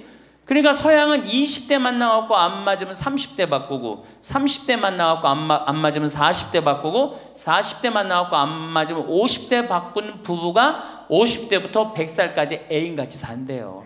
소중함을 알아서. 근데 우리는 20대부터 50대까지 한 번도 안 바꾸는 거야. 한 번도 안 바꾸고 어느 날 갑자기 바깥에서 전심 저녁 먹고 들어오던 사람을 이게 밥 새끼를 다 차려줘야 되니 이게 쉬워요? 쉽지 않지. 그러니까 왼수라고 그러는 거지 왼수 애인이 아니고 방도 어떻게 써? 아니 늙어서 안 그래도 외로운데 방도 그 아파트에서 둘만 사니까 어? 할머니는 안방에서 자고 할아버지는 뒷방에서 자고 잠도 따로 자고 이가 뭐 같이 사나 마나야 사나 마나야 그 지금 우리 할머니들 보약을 해줘도 누구한테 해주는 게 제일 좋아요? 할아버지한테 해줘야 돼요. 다정하게 해줘야 돼요. 그 있는 것 자체만 해도 얼마나 큰 위안인데요. 제가 87년도에 이 노원에 있는 이 그러니까 옛날에 이 상계동, 하계동 이렇던데요. 거기 맹인 재활원이 있었어요. 근데 내가 맹인 재활원에 이렇게 거기서 이제 근무를 했었을 때 거기에 부부가 있었는데 남편이 죽었어요. 남편이 죽어갖고 내가 뭐 정말 염도 해주고 그냥 성가도 잘 해주고 그랬는데 그 눈이 먼 그 자매가 그 방을 바꿔달라는 거예요. 그래서 왜 바꾸냐 그랬더니 여길 가도 남편 냄새, 저길 가도 남편 냄새. 남편이 너무 그리워서 못 살겠다는 거예요. 그러니까 그냥 지금은 소용이 없는 것 같지. 그렇죠? 빨리 죽었으면 좋겠고 귀찮지. 밥 새끼 해주는 거. 그런데 그 묵뚝뚝한 할아버지가 없으면요. 정말로 외로워지는 거예요. 그러니까 할아버지들한테 좀 잘하세요. 자식한테 신경 쓸 거 할아버지한테 한 번만 더 신경 쓰세요. 진짜 지금 중요한 동반자는 누구야? 할아버지들이야. 구박 좀 하지 말고. 노년처럼 축복받은 삶이 어디 있어요? 저는요, 여러분들처럼 80까지 사는 게 원이에요. 사는 게 얼마나 좋은데요. 사는 게. 제가, 제가 신학생 때 몸이 안 좋았어요. 건강이 안 좋았어요. 우리 뭐 15년 전에 우리 할머니들 나 봤을 때 내가 47kg였어. 47kg. 근데 지금 57kg야. 그러니까 신학생 때 내 이, 이, 이 허리띠가 여기에 정상적으로 있었, 있었던 적이 없어요. 여기 앉아 있으면 여기 어디가 있고 딴 날은 여기가 있고 허리띠가 제자리를 잡은 적이 한 번도 없어요. 그러니까 내 동창 신부들이 이제 내일 모레 오는 호계동에 우리 최영남 신부하고 작년에 나하고 같이 살던 이용삼 신부가 신학생 때 그랬어요. 너 신부 돼 갖고 40살까지 살면 이별 여행 가준다 그랬어요. 40살까지만 살아라 이거지. 그때까지 못 살 줄 알았거든. 내일 모레 죽을 것 같이 보였거든요. 40살까지 살면은 큰 컨테이너 트럭 하나 거기다가 먹을 것 침대 다 해갖고 세계 구경시켜 주겠다 그랬어요. 근데 내가 신부가 되고부터 건강해지기 시작하는 거예요. 아, 그러더니 그 비산동에서도 좀 건강해졌는데, 아, 이제는 여기 이제 평창에 와서 흙집에서 사니까 완전 건강해져. 완전 건강해진 거예요. 그래서 내 목표가 40에서 바뀌었어요. 80으로. 왜? 이게 건강하고 보니까 사는 게 너무너무 좋은 거예요. 밥도 맛있고. 그만 매일매일 이렇게 행복할 수가 없어. 이게 오래 사는 건 큰 축복이에요. 할머니, 할아버지들 지금 6.25 전쟁 통해 안 죽었지, 교통사고로 안 죽었지, 암으로 안 죽었지, 지금까지 사는 건 하느님의 은총, 축복 아니면 지금까지 못 살아요. 이 좋은 축복의 시간을 어떻게 살아야 돼? 행복하게 살아야 될 거 아니야. 그러니까 행복한 방법을 잘 알아야 돼요. 근데 노년에는 스스로 잃어버리는 게 너무 많다고 생각을 해요. 나이를 먹을수록 우리는 더 많은 슬픔을 견뎌야 하고 더 많은 것을 잃는다. 상실은 그야말로 노년의 가장 두드러진 단면이다. 친구들, 친척들, 배우자, 심지어 자녀들이 먼저 갈지도 모른다. 어제 100살 먹은 할머니 얘기를 들어보니까 자식들이 다 먼저 갔다는 거예요. 그러니까 먼저 가는 경우도 있어요. 지금 안 죽으니까. 그럴 때는 그 상실감이 훨씬 더 크다는 거예요. 그러니까 외로움이 점점 점점 나이를 먹으면 먹을수록 증가하는 거죠. 외로움, 고독. 제일 무서운 거예요. 나이 먹어서.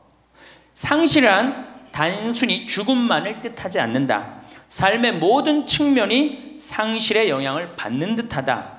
상실은 사회적, 경제적인 것에 국한되지 않는다. 그러니까 자꾸 내가 잃어가는 거, 육체적인 상실도 있다. 눈이 침침해지고 독서나 운전이 어려워져서 많은 즐거움을 주었던 활동이 곤란해진다. 노년은 외모에도 영향을 준다. 젊었을 땐 피부도 뽀얗고 정말 얼마나 예뻤어요. 여기 보니까 젊었을 때 한 미모 했을 할머니들이 내가 보니까 굉장히 많어. 뭐 기가 막혔을 텐데 외모에도 상실을 경험한 사람들은 그들의 경험을 다른 사람들과 나눌 수 있어야 한다. 다른 모든 형태의 활동과 마찬가지로 이것도 기도하는 마음으로 겸손하게 해야 한다. 그래서 이 외로움, 상실, 이때 가장 중요한 게 누구냐면 친구라는 거예요. 이 친구랑 함께 나누는 것처럼 중요한 게 없다는 거예요.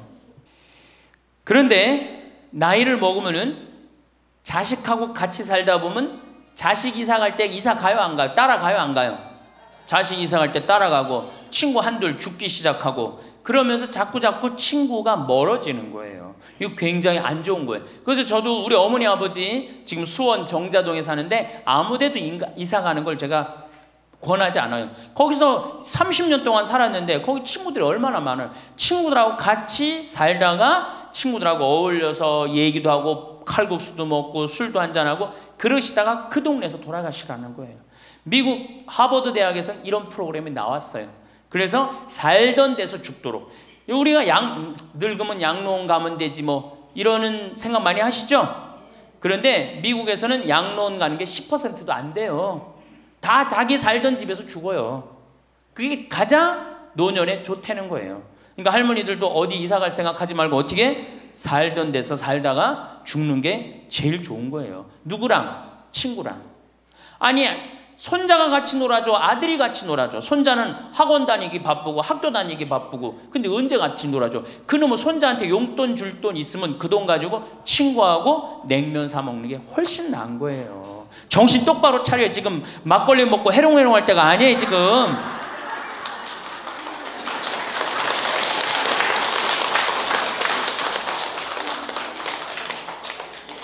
여기 비산동 노인대학 할머니 할아버지들은 할머니들은 정말 행복한 분들이에요. 왜? 일주일에 한 번 나와서 또래 친구들하고 노래도 하고 아까 보니까 또 막 마당에서 노래하고 막 강의도 안 들어오려고 막 그러다 보니까 어 이게 얼마나 중요한 건데 일주일에 한 번 친구를 만나서 노래하고 춤도 추고 이 굉장히 중요한 거예요.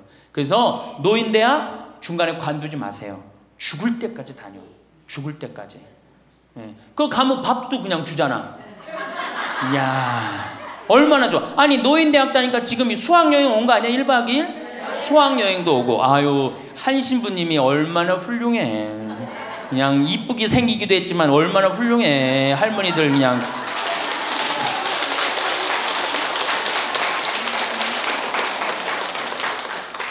그래서 나는 우리나라 교육제도에 불만이 굉장히 많아요.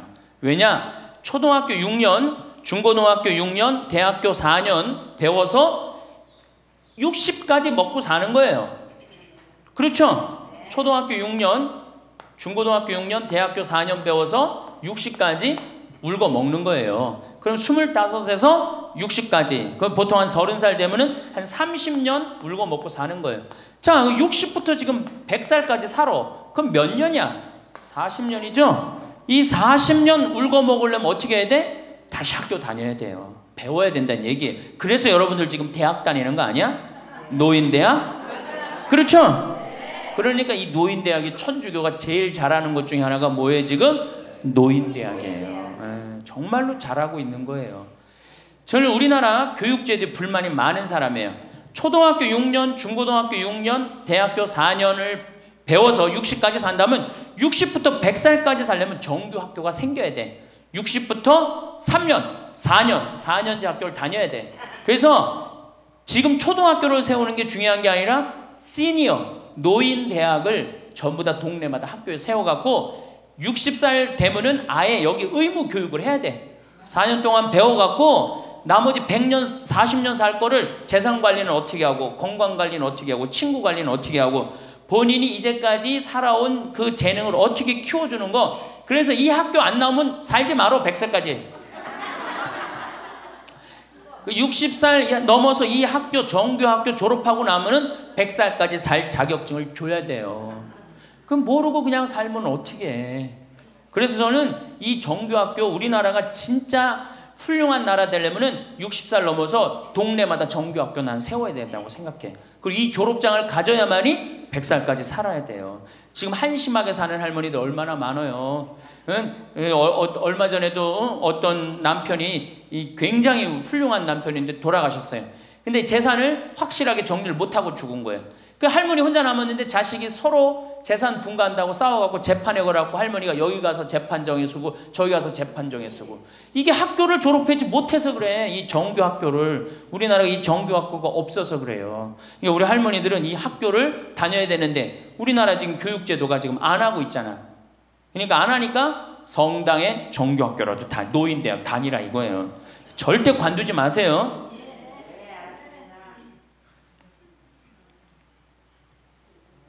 호주에서는 다른 사람 절대 안 만난 할머니가 돌아가셨는데 어떻게 6개월 동안 그 할머니가 죽었는지 아무도 모르는 거예요.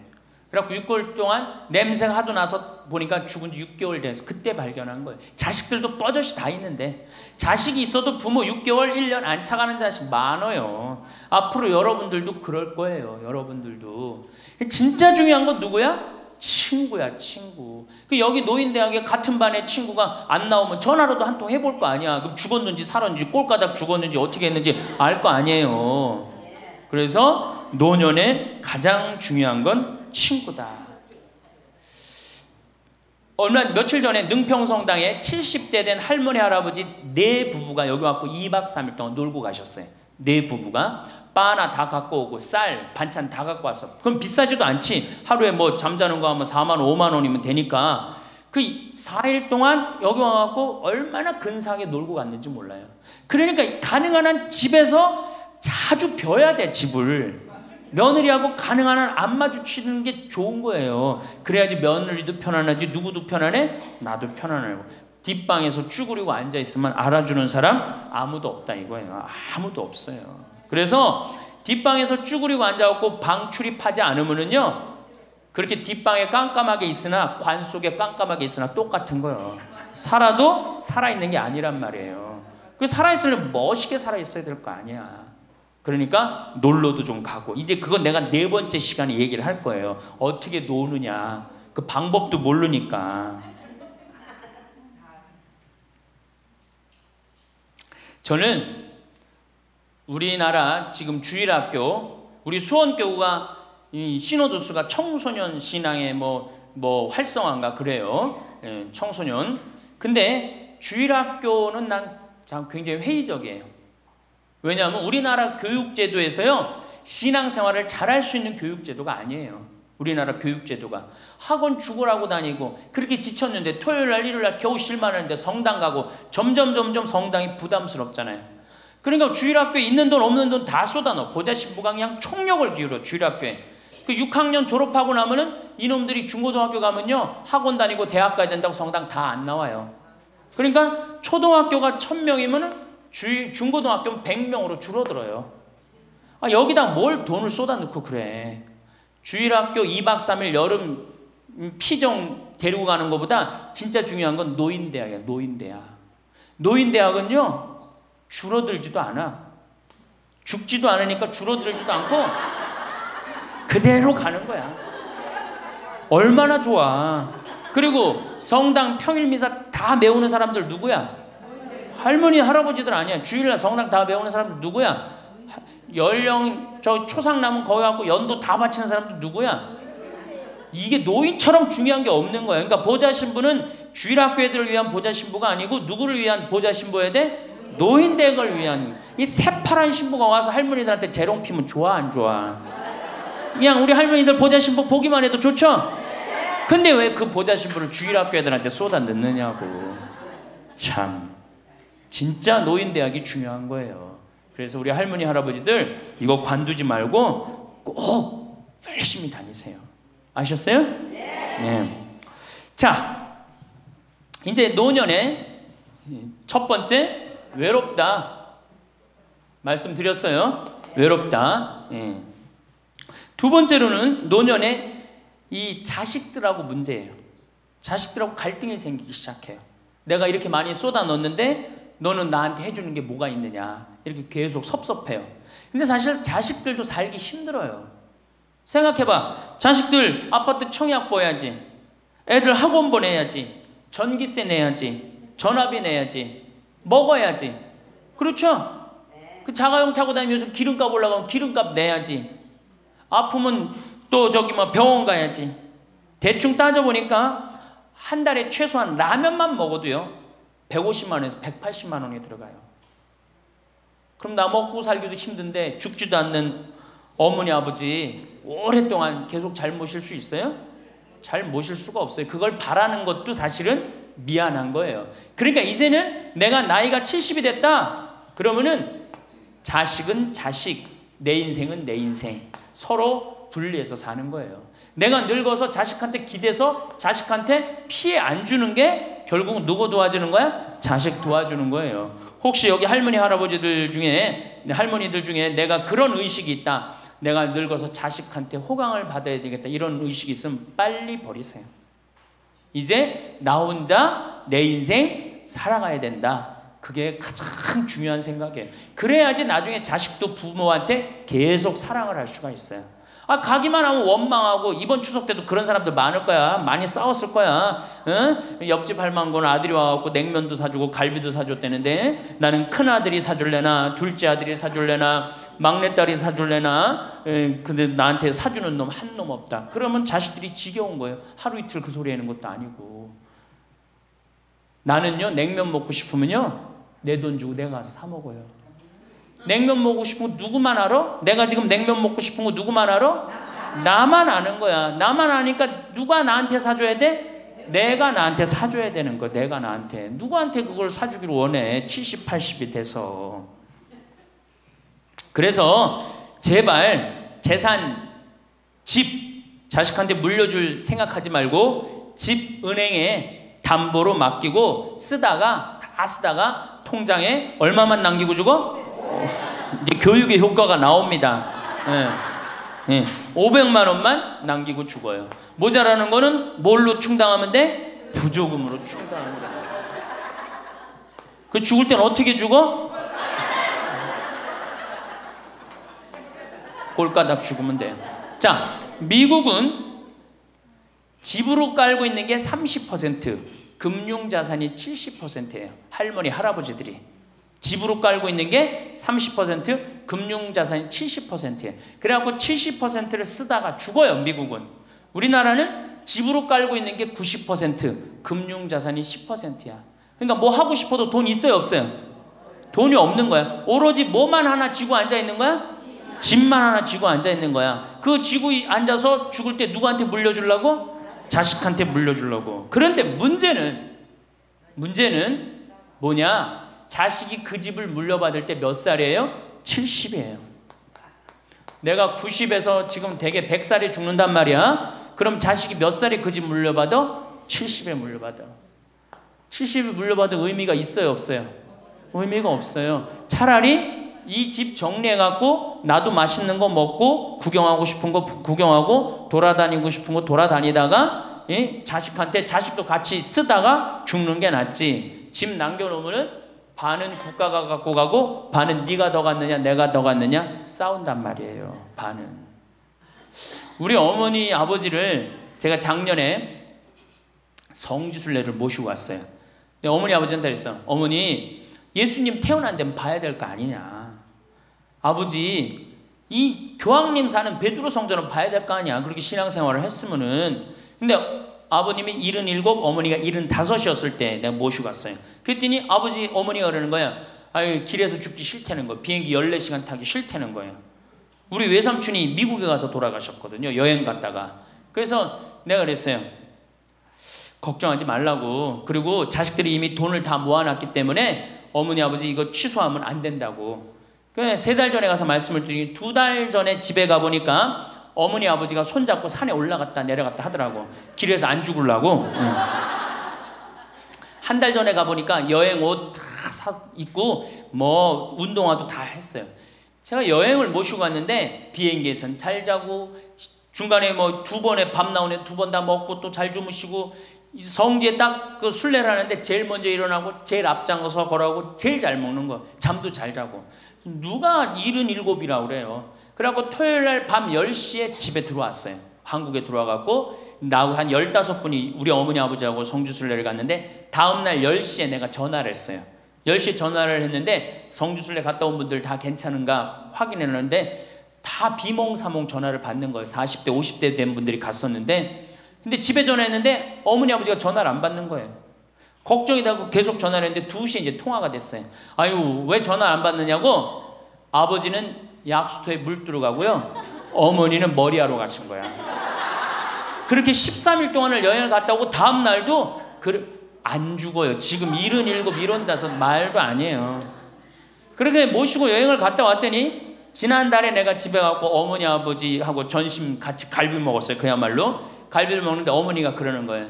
신부님 작년에 신부님이 저기 막 성주순례 유럽 갔다 온다고 여행 가방을 이쁜 걸 사주었는데 집에 그 여행 가방이 이렇게 앉아 있는데 여행 가방이 너무 아깝다고 저 여행 가방이. 또 가자 이거지 또 가자 이거지. 그래서 제가 그랬어요. 알았다고. 올해는 경제가 어려우니까 내년에 내가 모시고 가겠다고. 내년 모시고 갈 계획이에요. 왜? 이제는 인생이 휴가란 말이야. 휴가니까 정말로 인생을 즐겁게 살고 좀 하느님께 영광 드리고 감사하면서 살다가 떠날 때 부조금은 어머니 아버 어머니의 이름으로 부조금이 들어오면 어머니 이름으로 과원에 집 한 채 줘줄 거고 아버지가 돌아가시면 아버지 이름으로 집 한 채 드리고 그리고 아무것도 남기지 않고 가시는 거예요. 그게 멋있는 거예요. 그러니까 제발 욕심을 버리세요. 내 자식, 내 새끼 이 욕심을 버려. 우리가 하늘나라를 지향하는 사람들 아니야? 근데 뭐 이렇게 세상에 욕심이 많아. 하늘나라에 지향하는 사람들이. 그러니까 돌아가실 때는 누구한테 돌아가? 난 이 돌아간다는 말 참 좋아해요. 죽었다는 말보다 돌아간다는 말을 참. 어디로 돌아가? 하느님한테로 돌아가는 거예요. 돌아갈 때는 하느님한테 돌아갈 때는 좀 자신 있게 돌아가야 될 거 아니야. 세상에 다 묻어놓고 그냥 빈털터리로 너 나한테 한 게 뭐 있냐? 난 자식한테 다 주고 왔습니다. 하느님 내가 음, 고아원 아이들 정말로 뭐 정말 엄마 아버지 없는 아이들 위해서 집 한 채 져주고 왔습니다. 아, 나보다 훨씬 더 불쌍한 할머니 할아버지들 위해서 집 한 채 져주고 왔습니다. 이게 나요. 내가 자식한테 물려주는데 국가가 반 갖고 가고 자식이 갖고 싸웁니다. 지금 이게 나요. 어느 게 나요? 이렇게 얘기해도 집에 가보면은 말짱 노름목이에요.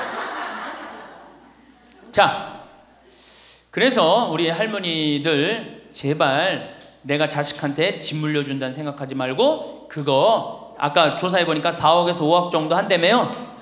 내일 집에 돌아가면 바로 은행에 가세요. 응? 그래갖고 바로 은행에 잡혀갖고 어, 한 달에 2억이면 20년 쓸 수 있어요. 한 달에 200만 원. 그러니까 100만 원씩. 한 달에 100만 원이면 쓸만해 안 쓸만해요? 쓸만하죠? 예, 그건 뭐 내가 이제 다음 시간에 말씀을 드릴 거예요. 자, 친, 외롭고 친구가 없고 그 다음에 자식하고 관계가 안 좋아져요. 그 다음에 나이를 먹으면은 몸이 여기저기에 아파요. 잘생기고 이뻤던 얼굴에 검버섯이 피죠. 그렇죠? 곱고 이뻤던 얼굴이 쭈글쭈글해지고 그렇죠? 예. 당뇨병이 생겨서 기력도 빠지고 관절염이 생겨서 무릎도 아프고 골다공증이 생겨서 넘어지기만 해도 뼈가 부러지고 심장병도 생기고 또 치매까지 걸리면 자식인지 누군지 구분도 못하고 예? 여기가 하늘인지 땅인지 예? 그것도 구분 못하고 고혈압으로 쓰러져 갖고 어, 다리 한쪽 질질 끌고 다니고 이런 그런 거를 주위에서 자꾸 보면 자꾸 자신감이 있어요 없어요? 없죠? 그런데 이런 사람들은 극히 드물다는 거예요. 미국의 95%는 건강하게 살아요. 그리고 여기 있는 할머니들은 지금 안양에서부터 여기까지 관광버스 타고 2시간 반 동안 왔죠? 그러니까 여기 있는 할머니들은 적어도 100살까지 전혀 문제 없이 살 할머니들이에요. 100살까지. 왜? 지금 근력은 100살까지 관리만 잘하면 100살까지 산단 말이에요. 관리만. 그리고 살다가 죽을 때는 어떻게 죽을 수 있는 가능성이 많은 할머니들이야? 꼴까닥 죽을 수 있는 가능성이 많은 할머니들이에요. 자, 그러니까 할머니들이 이제 운동을 잘 하셔야 돼요. 그냥 늙었다고 난 늙었다 이걸로 끝나는 게 아니에요. 우리 할머니들 며느리들한테 섭섭한 할머니들 많죠. 100명이면 99명이 며느리한테 섭섭해요. 100명이. 맞죠? 네. 아유 솔직해네. 어, 비산동 할머니들이 왜 내가 100명이면 99명이 며느리한테 섭섭하냐면 내가 고해성사를 들어보면요. 내가 비산동에 있을 때 16,000명이었지 교우들이 고해성사 무지하게 많이 들어봤어요. 할머니들이 오면 고해성사의 100%가 다 며느리 욕이에요. 며느리 욕. 뭐 며느리가 얼마나 못되게 한 거 뭐 다 얘기해요. 그럼 내가 뭐라 그래? 할머니 요새 젊은 것들이 버릇이 없어서 예의 없이 자라서 그러니까 할머니가 이해하라고. 할머니 며느리만 그런 게 아니라 다 그렇다. 예. 그럼 며느리들은 들어오면 나한테 뭐하고 뭐라고 고해성사할 것 같아? 시어머니 때문에 미치겠다고 그러는 거예요. 시어머니 때문에. 그럼 내가 그 며느리들한테 뭐라고 그럴 것 같아요? 늙으면 다 그러니까 니네 집만 그런 게 아니다. 늙으면 다 그러니까 신경 쓰지 말아라. 제가 그래요. 어쩔 수 없는 거예요. 어쩔 수 없는 거예요. 자, 그런데 할머니들하고 며느리들하고 입장을 조금 생각을 해봐. 자, 우리 할머니들 자식들 키웠을 때, 막 키웠을 때 태어났어. 막 손가락에 꼬무락거리고 막 어, 저기 막 옹알이하고 이뻐요, 안 이뻐요? 아, 이놈이 일어났어. 뻗떡. 그래갖고 걸으면 한 걸음 뛰었을 때 흥분돼요, 안 흥분돼요? 흥분되죠? 걸어. 그럼 기가 막히게 행복하죠? 뭐, 그 행복은 아마 생각해봐. 기가 막히게 행복했을 거야. 거기다 엄마라고 그래봐. 어때요? 아, 막 죽지. 엄마라고 그러면은. 막 죽어. 엄마라고 그러면은. 거기다가 이제 애가 가방 들고 막 학교 갔다가 뛰어왔다 하고 아 이놈이 키가 중학교 고등학교 됐는데 나보다 더 커져 뿌듯해 안 뿌듯해요 이게 키우는 맛이요 보통 큰 맛이 아니에요 그런데 반대로 입장을 바꿔놓고 이제 생각을 해보면 우리 어머니가 70이 됐어 문을 열고 나오면은 아이고 아이고 아이고 그런단 말이야 자식 부모는 자식을 키우는 재미에 정말로 푹 빠져 있지만 자식은 부모가 죽어가는 걸 본단 말이야. 얘야 눈이 좀 안 보인다. 어, 보니까 백내장이 걸렸어. 눈이 또 났더니 얘야 무릎이 아프다. 그러니까 뭐 무릎에 여기 그냥 저기 물렁뼈가 다 없어졌고 그 뼈 수술해줬어. 그러니까 문 열고 나오면 아이고 아이고 좋아질 가능성이 있어요. 점점 나빠져요. 점점 나빠. 점점 점점 죽어가는 걸 보는 거예요. 누가 더 기쁠 것 같아? 자식을 키울 때가 기쁠 것 같아. 죽어가는 부모를 보는 게 기쁠 것 같아요. 여기는 안타까움, 짜증, 의무감 이런 게 들었어. 여기는 기쁨이 있고. 그러니까 우리 할머니들 자식들한테 나한테 왜 이렇게 섭섭하게 하나 원망할 필요가 없어요. 그 죽어가는 걸 보는 건 그 슬픈 거예요. 그 외로운 거예요. 이게 정말 좋은 건 뭐야? 그 모습을 자식한테 안 보이는 거예요. 따로 떨어져서 사는 게 제일 좋은 거예요. 따로 떨어져서 사는 게. 그러니까 제발 같이 살 생각 좀 하지 마세요. 자식한테 뭐 의지하고 기대하고 산다. 지금부터 피눈물 나는 이야기를 하겠습니다. 제가 평택에서 알고 있던 할머니 한 분이 옛날에 과학 선생님을 했어요. 이 할머니가 나이가 82살인데 글쎄 75살 되던 해에 아들이 꼬신 거예요. 어머니 어머니가 살던 아파트 팔고 내가 사는 아파트 팔아서 50평짜리 아파트를 사자. 그래서 75살 먹은 할머니가 그런 생각을 했대. 내가 살면은 얼마나 사나? 살면 얼마나 사나? 여기 혹시 나는 살면 얼마나 사나 그런 생각 하시는 분들 손 들어 보세요. 절대 그런 생각 하지 마세요. 안 죽어.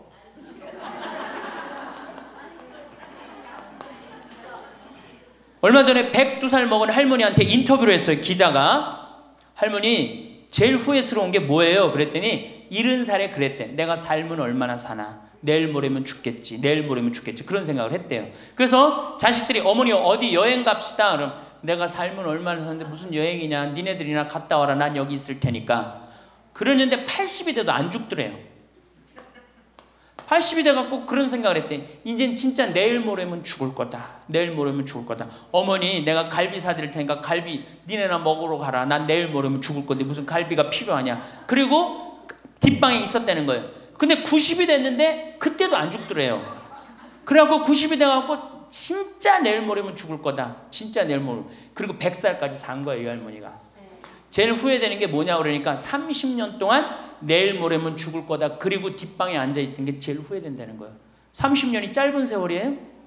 그 30년 동안 돌아다니고 돌아다니고 먹고 싶은 거 먹고 만나고 싶은 친구 만나고 춤 노인대학에 나오면 춤 시간도 있죠. 춤도 추고 박수도 치고 그랬으면 그 30년이 축복의 30년이야. 저주의 30년이야.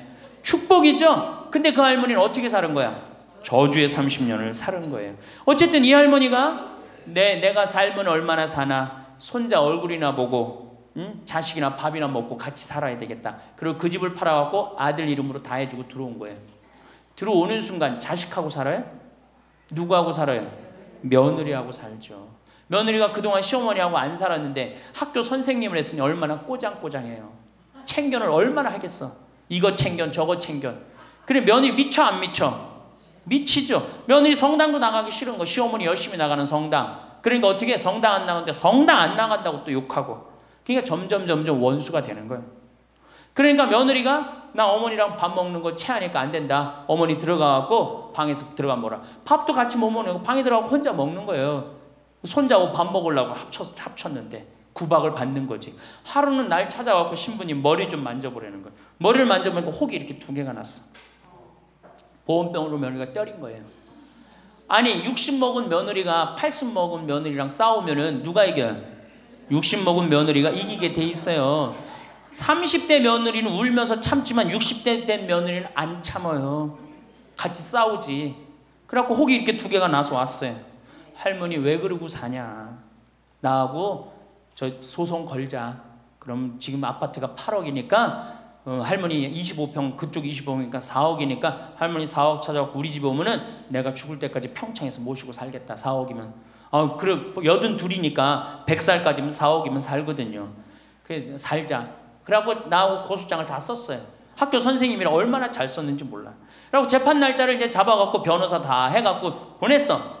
재판이 지나고 났는데 일주일이 돼도 안 나타나고 이주일이 돼도 안 나타나는 거야. 한 달 만에 성당에 나타났어 제가 할머니 어떻게 된 거냐 그랬더니 재판하는 날 아들이 무릎 꿇고 어머니 재판 취하해 좀 내가 잘 모시겠다고. 그래서 취하를 했다는 거예요.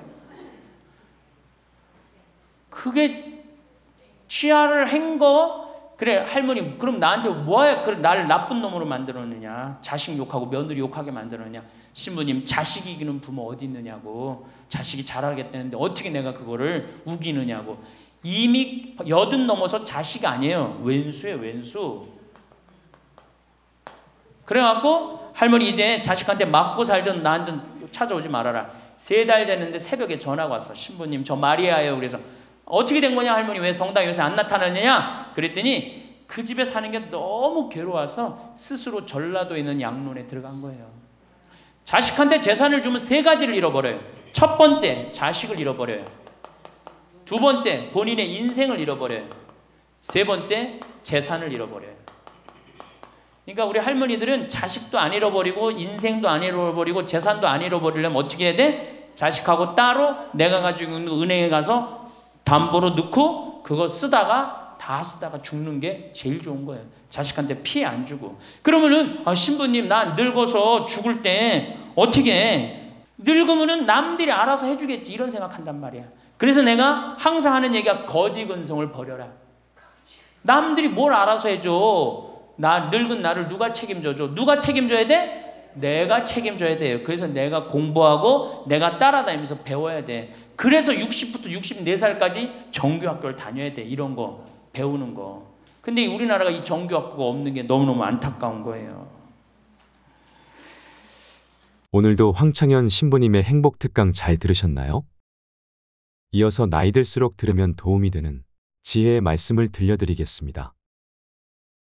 친구는 모든 것을 나눈다.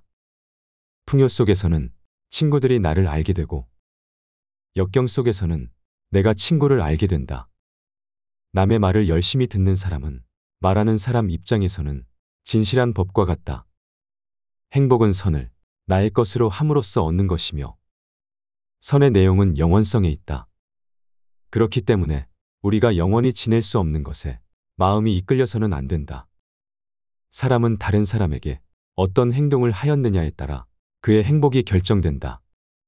남에게 행복하게 해주려 했다면 그만큼 자신에게도 행복스럽다. 자기 자식에게 맛있는 것을 사주고 그가 좋아하는 것을 보는 것은 부모의 기쁨이다. 이는 형제간, 친구간, 이웃간, 나아가 낯선 사람 사이에도 공통되는 이치이다. 남에게 관대하였으면 내 마음이 넉넉해지지만 만일 인색하였으면 그만큼 내 마음도 좁아진다. 남을 때린 자는 밤잠을 이루지 못하는 법이다. 남에게 친절하고 관대한 것이 내 마음의 평화를 유지하는 길이다. 남을 행복하게 해줄 수 있는 사람이 또한 행복해진다. 플라톤은 행복하기 위한 조건 다섯 가지를 말했다. 첫째, 먹고 입고 살기에 조금은 부족한 듯한 재산. 부자가 되는 것은 행복의 목적이 아니라 수단이다. 돈은 많으면 많을수록 좋다는 것은 오산이다. 둘째, 모든 사람이 칭찬하기에는 조금 부족한 외모. 외모는 인간의 표지판일 뿐이다. 그 안에 있는 내용물을 보아야 한다. 외모가 아름다운 것보다 마음이 아름다운 것이 더 중요하다. 외모를 바꾸려고 애쓰지 말고 성격을 바꾸려고 애쓰라. 외모는 타인에게 보여주는 것이고 성격은 자신에게 보여주는 것이다. 셋째, 자신이 생각하는 것의 절반밖에 인정받지 못하는 명예. 명예란 자신의 가치를 인정받는 것이 아니라 자신의 가치를 증명하는 것이다. 명예란 타인에게서 받아오는 것이 아니라 자신에게서 나가는 것이다. 명예란 자신의 행위가 자신의 말과 일치할 때 얻어지는 것이다. 넷째, 힘을 겨루었을 때 한 사람에게는 이기고 두 사람에게는 질 정도의 체력. 체력은 인간의 가장 큰 재산이다. 체력은 모든 것을 얻게 해주고 체력 없이는 아무것도 얻을 수 없다. 체력은 인생의 기초이다. 그 기초 위에 지성과 정신이 세워진다. 다섯째, 연설했을 때 듣는 사람의 절반 정도만 박수를 치는 말솜씨. 연설은 말하는 것보다 생각하는 것이 더 중요하다. 연설은 말하는 방식보다는 말하는 내용이 더 중요하며 내용은 생각과 지식에 기반해야 한다. 사랑이라는 것은 선한 것을 언제까지나 갖고 싶어 하는 마음이다. 마음을 행복하게 할 수 있는 자만이 행복을 얻는다. 빈곤은 부의 감소 때문이 아니라 욕망의 증가 때문이다. 착한 사람들이 일반 문제를 무관심하게 대한 형벌은 악한 사람들의 지배를 당하는 것이다. 성한 곳은 놔두고 상처 부위만 노리는 파리떼처럼 악한 사람은 다른 사람의 장점은 무시한 채 단점만 찾으려고 혈안이 된다. 플라톤은 나이 들수록 조심해야 하는 것 여섯 가지를 말했다. 첫째, 다른 사람의 단점을 말하지 말라. 다른 사람의 단점을 말한다는 것은 그 사람을 비방하는 것이 되고 자신의 인격과 품위를 손상시킨다. 다른 사람의 단점을 보기보다는 장점을 보고 칭찬하고 격려하라. 남의 흉을 보지 말고 자기 흉을 보라. 둘째, 자기 자신을 지나치게 자랑하지 말라.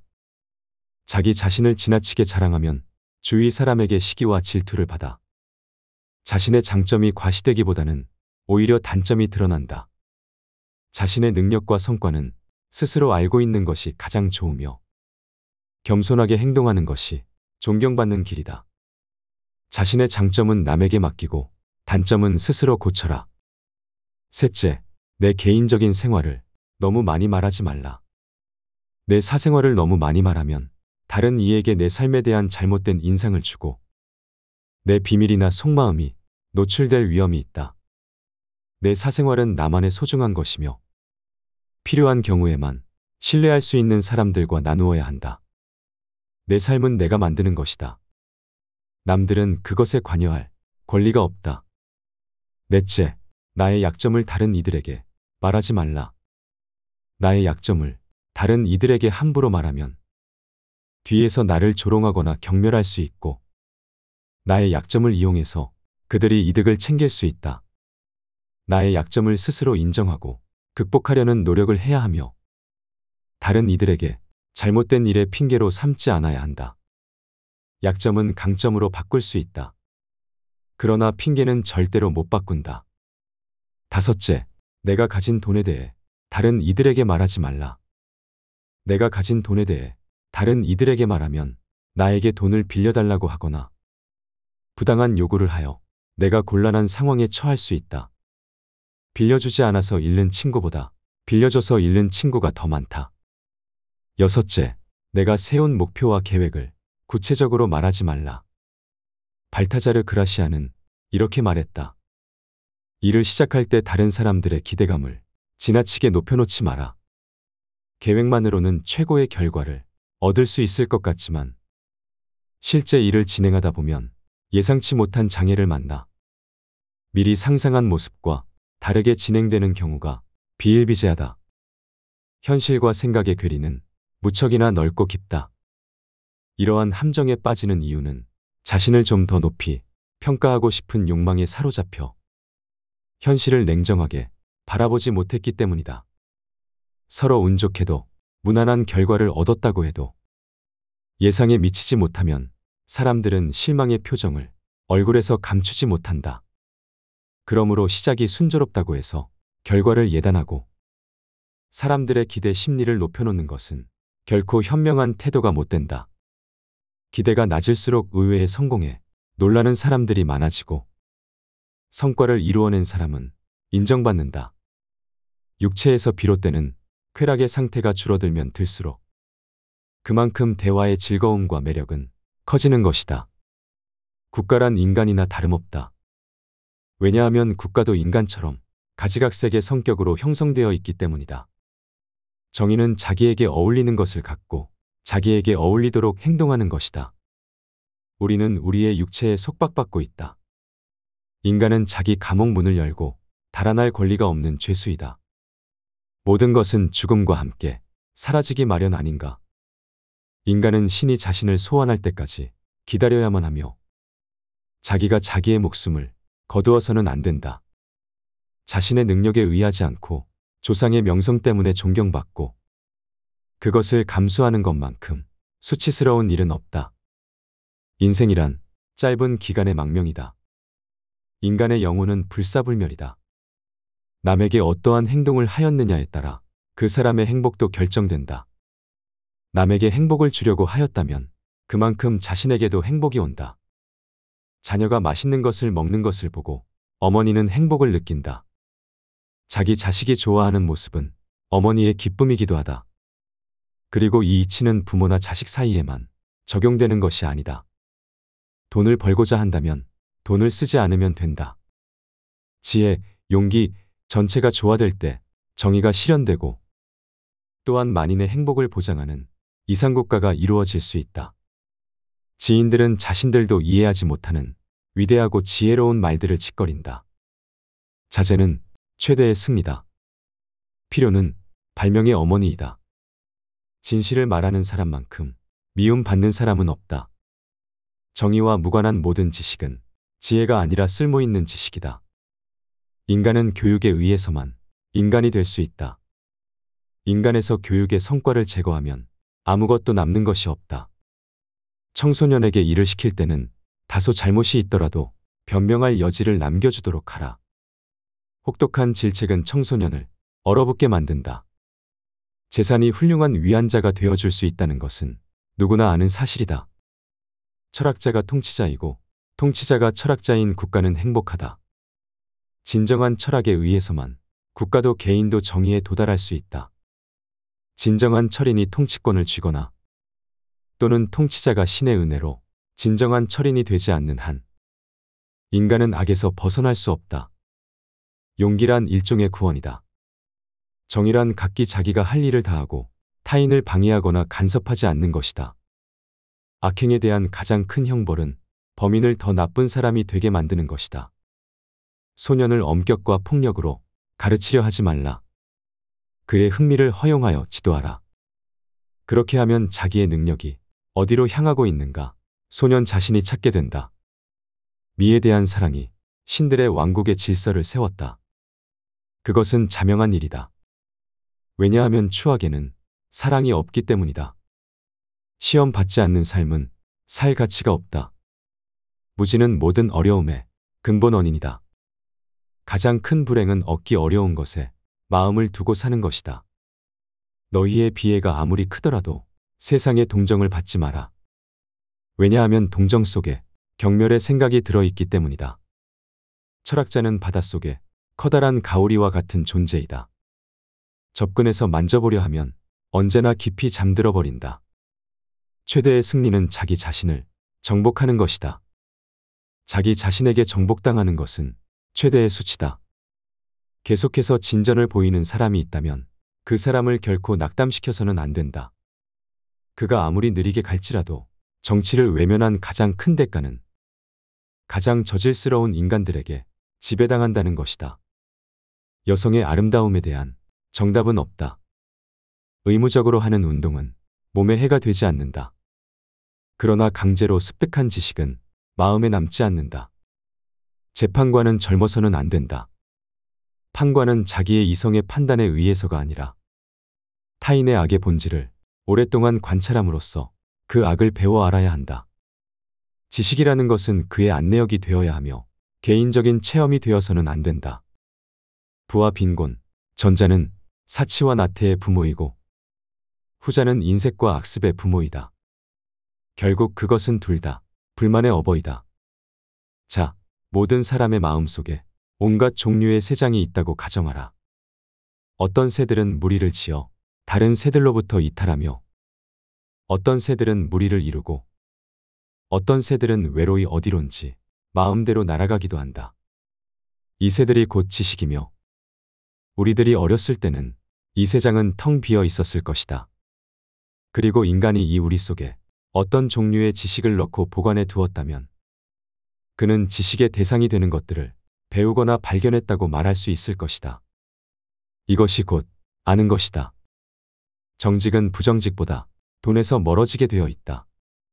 올림픽 경기에서 우승하는 것보다 평생을 두고 국법을 잘 지켰다는 명성을 얻는 사람이 오히려 훌륭하다. 시작은 그 일의 가장 중요한 부분이다. 교육이 한 인간을 양성하기 시작할 때의 방향이 훗날 그의 삶을 결정할 것이다. 대개 올바른 답보다 올바른 질문이 더 중요하다. 우리의 영혼이 육체악에 물들어 있는 한 결코 만족이란 없다. 사람을 시험해 보려면 모든 재산을 박탈하고 부당하게 대해보라. 재산을 박탈당한 것은 참지만 부당한 대우는 참지 못하는 사람이라면 가까이 두고 잘 대해 주도록 하라. 부당한 대우는 참지만 재산을 박탈당한 것에 불만을 사귀지 못하는 사람이라면 멀리하거나 피하도록 하라. 악한 사람을 사귀지 말라. 악인들은 그대를 보호막으로 삼는다.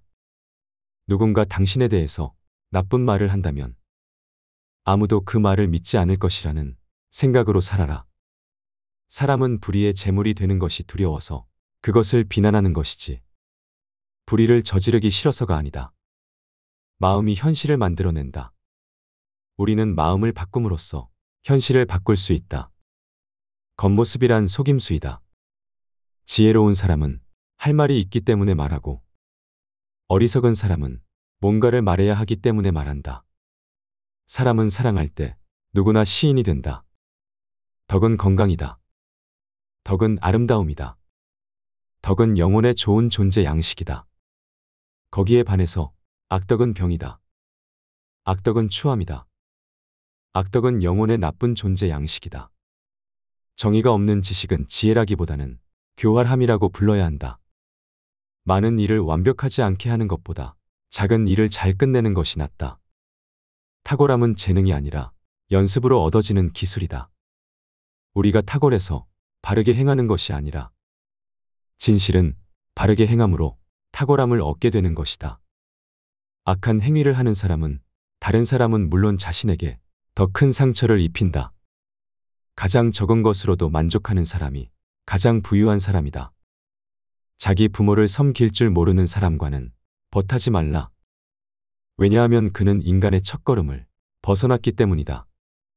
결혼해라.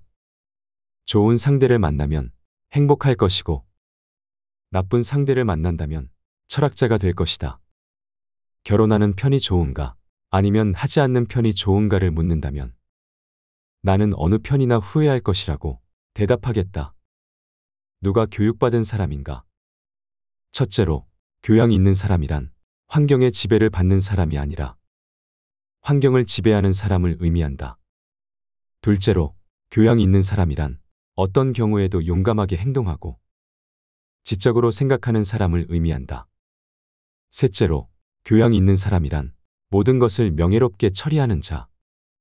다시 말해서 마음에 들지 아니하는 사람과 물건까지도 정정당당하게 처리하는 사람을 의미한다. 넷째로, 교양 있는 사람이란 쾌락을 절제하며 불행에 빠지지 않는 사람을 의미한다. 마지막으로 교양 있는 사람이란 성공 때문에 명예를 더럽히지 않는 사람을 의미한다. 나는 단 한 가지 사실만은 분명히 알고 있는데 그것은 내가 아무것도 알지 못한다는 것이다.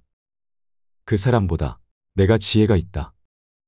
왜냐하면 그 사람도 나도 아름답고 선한 것에 관해서는 아무것도 모르는 것 같은데. 그러나 그 사람은 모르면서도 무엇인가 아는 것처럼 생각하고 있고, 그와 반대로 나는 아무것도 모르기 때문에 그대로 모른다고 생각하고 있다. 그래서 나는 모르는 것을 모른다고 생각한다는 바로 그 조그만 점에서 그 사람보다는 내가 지혜롭다 할 것이다. 말 타는 기술을 늘리려면 사나운 말을 골라 타야 한다. 사나운 말을 탈 수 있게 되면 다른 말을 다스리는 것은 쉬운 일이다. 내가 그녀를 견뎌낼 수 있다면 아마 이 세상에서 다루지 못할 사람은 없을 것이다. 행복을 자기 자신 이외의 것에서 발견하려고 바라는 사람은 그릇된 사람이다. 현재의 생활 또는 미래의 생활, 그 어느 것에 있어서나 자기 자신 이외의 것에서 행복을 얻으려는 사람은 그릇된 사람이다. 참된 견해를 갖고 있더라도 그것을 이해하지 못했다면 바른 길 위에 선 맹인일 뿐이다.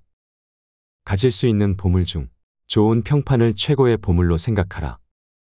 명성은 불과 같아 일단 불을 붙이면 그 불꽃을 유지하기가 비교적 쉽지만 꺼뜨리고 나면 다시 그 불꽃을 살리기가 매우 어렵다. 좋은 평판을 쌓는 방법은 당신이 보여주고 싶은 모습을 갖추기 위해 노력하는 것이다. 먼저 좋은 친구가 되어주는 것이야말로 사람들의 마음을 얻는 가장 훌륭한 방법이다. 세상을 외면하고 있을 때 내 벽을 뚫고 오는 사람들한테 신경 써라. 인간은 자기가 갇혀 있는 감옥의 문을 두드릴 권리가 없는 죄수다.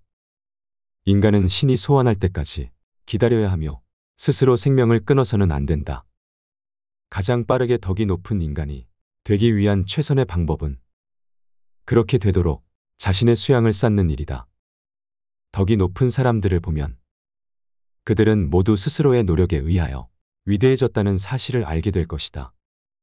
자신이 가진 것에 만족하지 않는 사람은 자신이 원하는 것에 만족하지 않을 것이다. 나는 잘 되겠다고 노력하는 그 이상으로 잘 사는 방법은 없고 실제로 잘 되어 간다고 느끼는 그 이상으로 큰 만족은 없다고 생각한다. 이것은 내가 오늘날까지 살아오며 경험하고 있는 행복이다. 그리고 그것이 행복한 것을 내 양심이 증명해 주고 있다. 내가 당하기 싫은 일은 하지 마라. 가장 나쁜 사람이 누군가. 그대가 줏대 없이 이리저리 마음이 흔들리도록 꼬드기는 사람이다. 아, 나의 아들이여. 내가 만일 부모의 근심을 모른다면 아무도 너의 벗이 되지 않을 것이다. 나의 집이 비록 작더라도 진정한 친구로 채울 수만 있다면 만족하겠노라. 우정은 느리게 시작하고 항상 유지해라. 사탕 발린 칭찬이 아닌 분별 있는 애정의 증표로 친구를 사귀라. 친구와 적은 있어야 한다. 친구는 충고를, 적은 경고를 해준다. 모든 언행을 칭찬하는 자보다 결점을 친절하게 말해주는 친구를 가까이 하라. 사냥꾼은 개로 토끼를 잡지만 아첨하는 자는 칭찬으로 우둔한 자를 사냥한다. 세상을 움직이려면 먼저 자기 자신을 움직여야 한다. 지금에 만족하지 못한다면 여건이 좋아져도 절대 만족할 수 없다. 내가 보이고 싶은 대로 행동하라. 모든 일에는 양면성이 존재한다. 한가로운 시간은 무엇과도 바꿀 수 없는 재산이다. 난 가장 적은 욕심을 가졌으므로 신에 가장 가까운 존재다.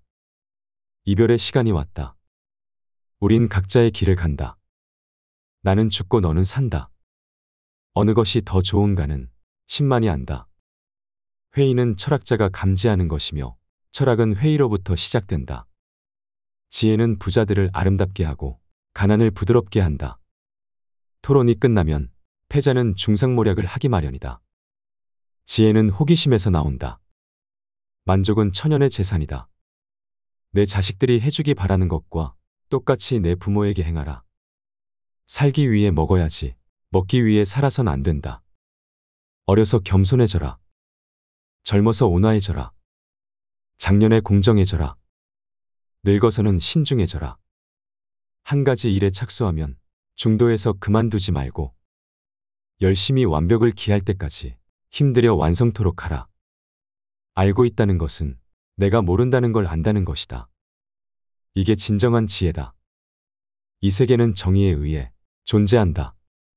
정의가 없다면 이 세상에 어떤 피조물도 존재할 수 없다. 삶에서 멀리 가면 갈수록 그만큼 진리에 가까이 하는 것이다. 더 나은 삶을 찾는 것이 최고의 삶을 사는 것이다. 죽음을 면하기란 그다지 어려운 일이 아니다. 오히려 비굴함을 면하기가 훨씬 더 어렵다. 그것은 죽음보다 더 빨리 달리기 때문이다. 우리가 존중해야 하는 것은 단순한 삶이 아니라 올바른 삶이다. 유일한 선은 알미요. 유일한 악은 무지이다. 인간사에는 안정된 것이 하나도 없음을 기억하라. 그러므로 성공에 들뜨거나 역경에 지나치게 의기소침하지 마라. 죽음은 인간이 받을 수 있는 축복 중 최고의 축복이다. 인생의 시초는 곤란이다. 그러나 성실한 마음으로 물리칠 수 없는 곤란이란 거의 없다. 내 마음은 관상가가 하는 말과 같이 실로 흉악함에 차 있다. 단지 내가 이를 잘 이겨서 행동으로 나타나지 않을 뿐이다. 질문을 이해하는 것은 정답의 반을 찾은 것이다. 변화의 비밀은 새 것을 쌓는 데 있다. 과거를 바꾸려 하지 마라. 자네가 물에 빠져 숨 쉴 공기를 원했듯이 지식을 원한다면 자네도 얻을 수 있다네. 인생은 사는 것이 중요한 문제가 아니라 바로 사는 것이 중요하다. 각자의 건강에 주의하라.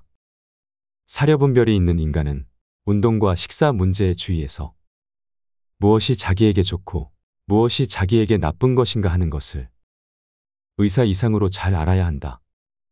보다 나은 인간이 되기 위해 애쓰면서 사는 것보다도 더 훌륭한 삶은 없다. 그리고 실제로 보다 나아지고 있음을 느끼는 것보다도 더 큰 만족감은 없다. 세 부류의 친구가 있다. 첫 번째 부류는 음식과 같아서 매일 필요하다. 두 번째 부류는 약과 같아서 가끔씩 필요하다. 세 번째 부류는 질병과 같은 것으로 항상 피해 다녀야 한다. 아무리 친한 벗이라도 너무 가까이 하지 말라. 친구는 석탄과 같다. 친구는 불타고 있는 석탄이다. 적당한 거리까지 접근해야 몸을 따뜻하게 할 수 있지만 그렇다고 너무 가까이 가면 몸을 댄다.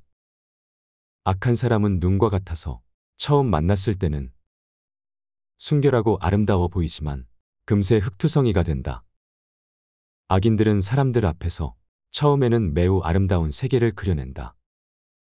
온 세상이 은으로 덮인 순결한 설경처럼 말이다. 그러나 현실이라는 태양이 비치면 눈은 녹아 사라지고 온통 진흙투성이에 나쁜 세계가 펼쳐지게 된다. 악인이 나에게 아름다운 세계를 그려 보이더라도 결코 속아서는 안 된다. 다음 날 눈을 뜨면 진흙투성이의 세계로 변해 있을 테니까 말이다. 애매한 친구보다 분명한 적이 낫다. 우리가 가장 상대하기 힘든 것이 이도저도 아닌 애매한 친구이다. 진정한 친구인가 아니면 적인가를 도무지 구별할 수 없는 사람은 상대하기 곤란하다. 인간은 친구를 만나면 누구나 속마음을 털어놓게 된다. 그런데 그 친구가 적인 것을 분명히 알고 있으면 그 적이 자기에게 요구하는 것과 요구하지 않는 것을 확실하게 알 수 있다. 그러므로 상대와 사귈 때 애매모호한 자세로 친구인 양하는 것은 비겁한 짓이다. 그러므로 애매모호한 친구보다는 차라리 확실한 적이 낫다. 나쁜 곳에 가서는 돈 주머니를 잘 단속하라. 인간은 선한 마음에 의해서 가끔 경계심을 풀게 된다. 돈 주머니를 빼앗기고 나서는 때는 이미 늦었다. 나쁜 환경에 있는 자에 대해서는 항상 경계하여야 한다. 향수 가게에서 일을 하다 보면 향수 냄새를 풍긴다. 인간은 같이 생활하는 사람의 영향을 받는다. 인간은 인간인 이상, 그게 누구든지. 주위의 환경과 보조를 맞추지 않고 산다는 것은 어려운 일이며 그러한 사람도 없다. 따라서 친구를 택할 때에는 항상 깊이 생각해야 한다. 꿀을 치다 보면 조금은 꿀맛을 볼 수가 있다. 나쁜 환경에 던져진 사람은 그 환경의 영향을 받기가 쉽다. 또한 좋은 환경을 접하게 된 사람도 그렇다. 왜냐하면 인간에게는 서로 어울리려는 성질이 있으며 인간은 적응력이 강하기 때문이다. 그래서 어떤 사람과 사귀게 됐을 때에는 그 사람의 환경이나 지나온 이력들을 따져봐야 한다. 그 사람은 그가 자라온 세계나 처해 있는 환경을 척도로써 그 몸에 고스란히 지니고 있기 때문이다. 인간이 본성이 착하다는 것은 사실이다. 그러나 그렇다고 해서 세상 모든 사람이 착하다고는 할 수 없다. 아이들을 보면 그 부모를 알 수 있고 친구를 보면 그 사람을 알 수 있다.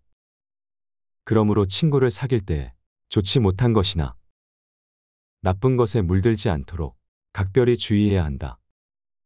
착한 사람이 나쁜 사람을 선도하려고 해도 그 뜻을 이루기보다는 자기마저 악에 빠지기 쉽기 때문이다. 절에서 자라온 사람이나 수도원에서 생활한 사람이 신을 믿지 않거나 나쁜 사람이 되기가 어렵듯이 도박장에서 일하는 사람이 정직하기를 바라는 것은 어려운 일이다. 자기가 꿋꿋하고 올바르게 살고 가족이나 다른 사람들에게 도움을 주려면 자신부터 확고히 세워야 한다. 그러기 위해서는 우선 자신을 단단히 지켜야 한다. 손님과 생선은 사흘만 지나면 악취가 난다. 손님은 비와 같은 것이어서 적당하게 부리면 기뻐하지만 장마가 되어서는 안 된다. 소문은 가장 좋은 소개장이다. 평판이란 것은 수천 장의 소개장을 세상에 뿌리는 것과 같다. 그리고 업적을 소문만큼 웅변적으로 말해주는 것도 없다. 그 소리는 넓고 높게 퍼지는 것이다. 밀가루 장수와 굴뚝 청소부가 싸움을 하면 밀가루 장수는 검게 되고 굴뚝 청소부는 휘어진다. 현명한 사람은 의미 없이 싸움을 하지 않는다. 인생을 살아가는 데 있어서 가장 큰 재산은 친구이다. 인간은 누구나 일생을 통해서 만날 수 있는 사람의 수가 한정되어 있다. 싸움은 자신의 소중한 인간관계를 줄이는 가장 빠른 방법이다. 이겨도 문제, 저도 문제로 서로가 득이 되는 것이 없다. 싸움은 졸렬한 자기 주장이다. 현명한 사람은 자기를 주장할 때 좀 더 사리에 맞는 방법을 택한다. 감정에 끌려 자기를 주장하려고 할 때 싸움이 일어난다. 지혜로서 상대방을 설득하려는 자는 감정을 나타내 보이지 않는다. 이쪽에서 감정을 내보이면 상대방도 감정으로 맞서게 되기 때문이다. 서로가 자신의 잘못을 인정하지 않으면 진정한 화해가 이루어지지 않는다. 화해를 하려고 할 때 한쪽만 잘못을 인정하는 경우가 간혹 있다. 그러나 이렇게 해서는 화해가 이루어지기 어렵다. 왜냐하면 타협으로부터 화해가 이루어지는 것이므로 양쪽이 모두 자신들의 잘못을 시인하여 대립 관계에서 벗어나 대등 관계로 바뀌어져야 하기 때문이다. 그러므로 싸움을 한 사람은 스스로의 잘못을 인정해야 한다. 설령 자기에게 잘못이 없다고 해도 무엇인가를 찾으려 노력해야 한다. 이것이 화해의 원칙인 것이다. 한쪽의 잘못만은 인정하고 화해가 이루어진다면 그것은 결국 그 한쪽의 잘못을 비난하는 결과가 되기 때문이다. 서로가 잘못을 인정하고 그것을 비는 것이 가장 좋은 화해의 방법이다. 낯선 사람의 백마디의 모략보다도 친구 한마디의 말이 깊은 상처를 남긴다. 사회라는 것은 많은 사람들에 의해서 조직되어져 있다. 그 많은 사람들을 이리저리 나누어 생각해보면 자기의 사회는 친구들에 의해 이루어져 있음을 알 수 있다. 또한 그들에 의해서 지탱되고 있음도 알 수 있다. 그런데 만일 인간에게 친한 친구가 없다면 아마 인간은 사회를 살아나갈 자신을 잃어버리고 말 것이다. 그래서 모르는 사람에게서 중상당하는 것은 그다지 큰 상처가 되지 않으나 친한 사람에게 들은 한마디 말은 그것이 사소한 것일지라도 큰 상처가 되는 것이다. 따라서 친구를 비판할 때는 조심스러워야 하며 친구를 중상모략하는 일은 절대로 없어야 한다. 만일 조심성 없이 지나치게 비판하거나 또는 중상하면 그것은 스스로 자기의 사회를 파괴하는 꼴이 된다. 큰 소리로 내어 웃는다는 것은 분명히 즐거운 일이다. 웃음은 희망이며 여유이다. 웃을 만한 여유가 없는 사람은 궁지에 몰려 몸을 움츠리게 된다. 그러므로 이와 같은 웃음은 크게 나누어 가져야 한다.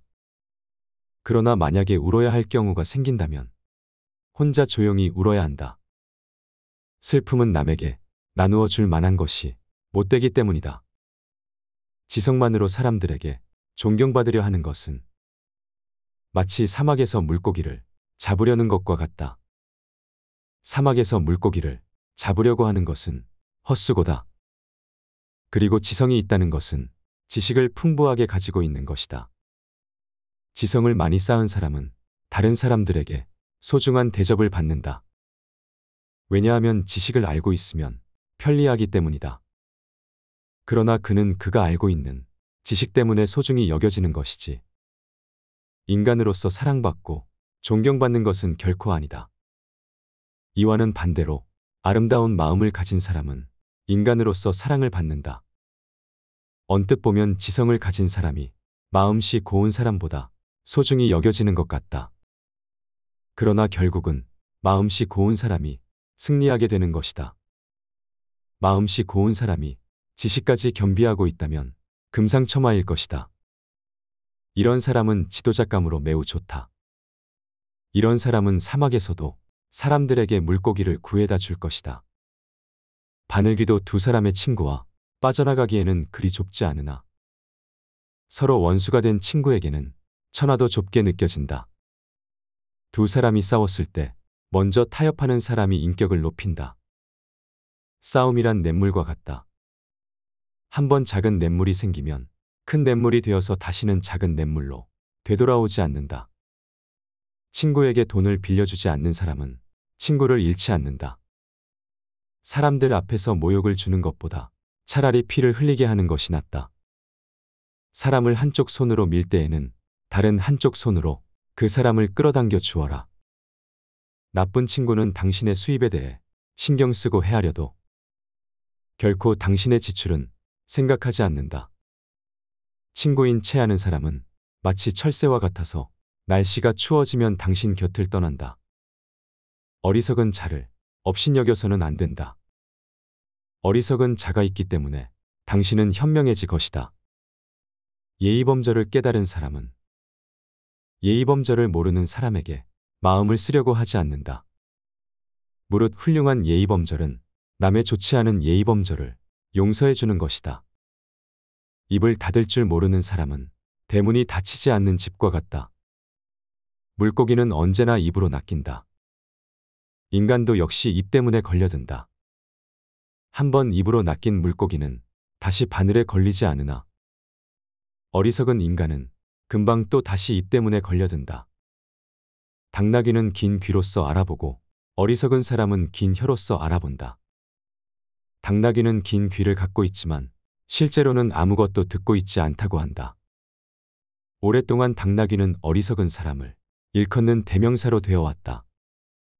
어리석은 사람에게 가장 큰 적은 자기 자신이다. 자신이 어리석다는 사실은 가만히 있을 때에는 알 수 없으나 당나귀 귀처럼 긴 혀로 이야기하면서 곧 알려지게 된다. 어리석은 사람의 혀는 날름거릴수록 길어진다고 한다. 그러나 아무리 날름거리더라도 어진 사람이 이야기할 때와 달라서 아무런 의미도 갖지 않는다. 혀에는 뼈가 없다는 것을 항상 생각하라. 혀에게 재주를 가르친다는 것은 어려운 일이다. 수다를 떨지 말라. 비밀은 꼭 지켜라. 혀로 말하기 전에는 항상 생각하라 하는 것들을 아무리 타일로도 혀는 곧 잊어버리기 때문이다. 혀에는 뼈가 없다. 우리는 혀라고 하는 것이 연체동물임을 항상 의식해야 한다. 혀는 일생의 운명을 지배하는 중요한 몸의 부분이기 때문이다. 우리 주위에는 입을 잘못 놀려서 해서는 안 될 소리를 해서 잠자코 있어야 할 때 입을 놀려서 인생의 큰 손해를 본 사람들이 많이 있다.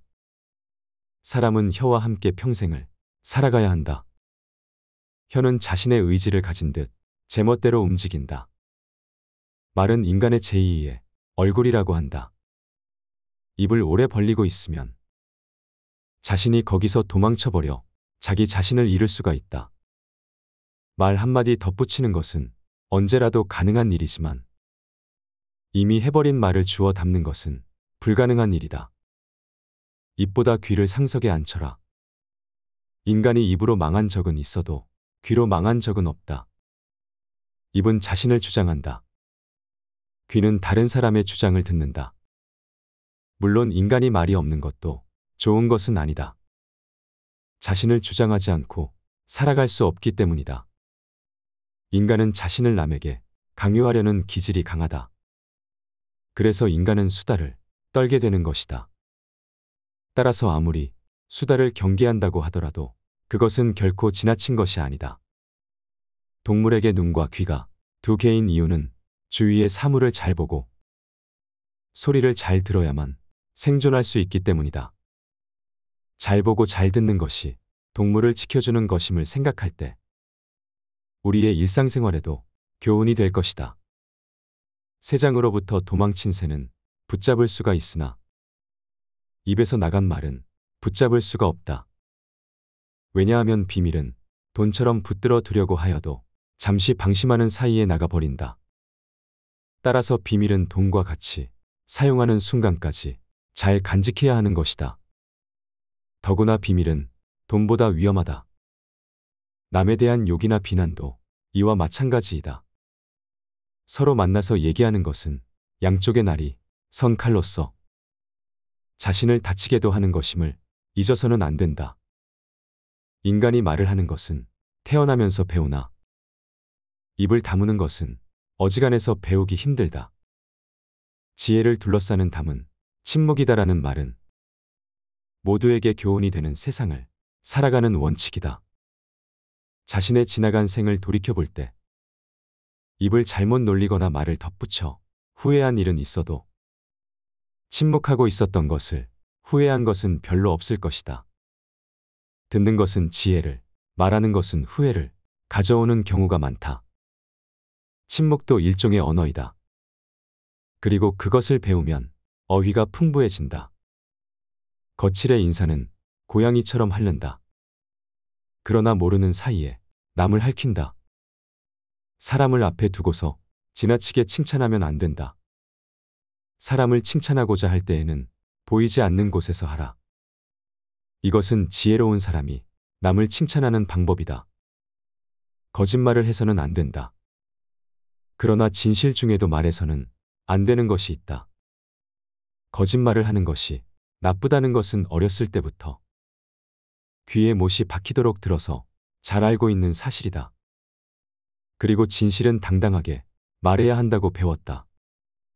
그런데 진실 중에서도 말해서는 안 될 것이 있다. 그 하나는 사람을 다치게 하는 진실이다. 진실에도 거짓말과 같이 사람을 괴롭히는 것이 있다는 것을 알아야 한다. 또 하나 이야기하면 안 되는 진실은 비밀이다. 자신의 비밀이나 남의 비밀을 말해서는 안 된다. 진실도 거짓말과 같이 위험한 것이다. 진실도 칼처럼 조심스럽게 다루어야 한다. 거짓말쟁이는 뛰어난 기억력을 가져야 한다. 거짓말쟁이는 이익될 것이 없다. 진실을 말해서 얻는 것은 무엇을 말했는가 기억할 필요가 없다는 것이다. 거짓말을 하게 되면 당장은 이익이 생기는 일이 있겠지만 긴 안목으로 보면 아무런 장점이 없다. 대부분의 사람에게 가장 큰 고통은 남에게 말하지 못하는 것이다. 남이 모르는 것을 알고 있다는 것은 우월감을 갖게 한다. 그리고 그 정보가 상대방과 관계 있을 때 상대방이 그것을 모르고 자신만 알고 있다면 더욱 우월감을 갖게 된다. 인간은 우월감에 젖고 싶은 강한 욕망을 가졌으므로 인간이 비밀을 지킨다는 것은 매우 어려운 일이다. 또 한편 인간은 고독에서 벗어나고자 하는 강한 열망이 있다. 남에게서 따돌림 받는 것만큼 괴로운 것은 없다. 인간이 다른 사람에게 얘기해서는 안 되는 것을 이야기해 버리는 것은 그것을 다른 사람에게 이야기함으로써 자기와 같이 경험을 하게 하고 고독으로부터 해방되려고 하는 것이다. 인간은 사물을 직접 경험하기도 하고 듣고 읽고 하는 간접적인 것을 통해서도 경험을 하게 되므로 다른 사람과 이야기하는 것도 상대방과 함께 경험을 나누는 것이 된다. 인간에게 있어 가까운 사람과 말할 수 없는 것만큼 큰 고통도 없다. 인간은 시간 또는 자기가 가진 물건이나 정보를 서로 나누면서 친해지게 마련이다. 친하다는 것은 곧 서로 나누어 가진다는 것을 의미한다. 당신의 친구는 친구를 가졌고 그 친구도 다른 친구가 있으며 그 친구의 친구도 다른 친구가 있다. 그러므로 당신 친구에게 이야기하는 것을 조심하라. 자기가 들은 비밀을 다른 사람에게 말하고 싶은 충동은 대단히 참기 어렵다. 같은 말을 되풀이하는 자는 가까운 친구를 잃는다. 비밀은 꼭 지켜야 한다. 당신의 입은 금고이다. 금고는 자주 열면 안 된다. 입을 금고에 비유하면 열릴 때까지 오랜 시간이 걸리는 금고일수록 정교하고 좋은 것이다. 남을 헐뜯는 중상이나 비방은 친구로부터 친구에게 입에서 입으로 전해지기 마련이다. 그리고 당신은 조심성 없는 행동으로 인하여 그 사람의 원한을 사게 된다. 어진 사람은 자기 눈으로 직접 본 것을 남들에게 이야기하고 어리석은 사람은 자기 눈으로 보지 못하고 귀로만 들은 것을 이야기한다. 귀로 무엇을 들을 것인가? 눈으로 무엇을 볼 것인가는 자기 의지대로 하기 어렵다. 그러나 입은 의지대로 할 수 있다. 혀는 마음의 붓이다. 남의 입에서 나오는 말보다 자기 입에서 나오는 말을 잘 들어야 한다. 자기가 하는 말을 자신이 건널 다리라고 생각하라. 그리하면 튼튼한 다리가 아니라면 당신은 건너지 않을 것이다. 고약한 혀는 고약한 손보다 나쁘다. 현명한 말은 현명한 행동보다 못하다. 말은 약과 같은 것이다. 그러므로 의사가 약을 처방하듯 신중히 생각해 말해야 한다. 한 대 맞은 아픔은 언젠가는 없어지지만 모욕당한 말은 영원히 남는다. 급하게 대답하는 사람은 급하게 잘못을 저지른다. 말이 당신의 입안에서 돌고 있을 때 그 말은 당신의 노예이지만 일단 밖으로 튀어나왔을 때에는 당신의 주인이 된다. 밤에 이야기를 할 때는 소리를 낮추고 낮에 이야기를 할 때는 주위를 살펴보아라. 주위가 다 보이는 들판이라도 흙이 조금 부풀어 올라 있거든 비밀 이야기를 하지 말라. 자기 자랑을 하는 것은 좋은 일은 아니지만 차라리 남을 욕하는 것보다 낫다. 중상은 어떤 무기보다도 무서운 것이다. 화살은 보이는 곳까지만 쏠 수 있지만 중상은 멀리 있는 마을까지 망하게 한다. 침묵은 어진 사람을 더욱 어질게 한다. 그러므로 어리석은 자는 침묵의 소중함을 알지 못한다. 어리석은 자가 어진 듯이 하기는 간단하다. 입을 다물고 있으면 된다. 어리석은 사람을 어떻게 분별할 것인가? 어리석은 사람은 수다스럽다. 짓거리기를 잘하는 어리석은 자는 엉뚱한 시간을 가리키는 시계와 같고 말없이 가만히 있는 어리석은 자는 고장 나서 움직이지 않는 시계와 같다. 둘 중에 후자가 훨씬 낫다. 영혼까지도 휴식이 필요하므로 인간은 잠을 자는 것이다. 입에도 휴식을 주고 남의 말에 귀를 기울여라. 즐겁게 오래 살고 싶으면 코로 숨을 쉬고 입을 다물어라.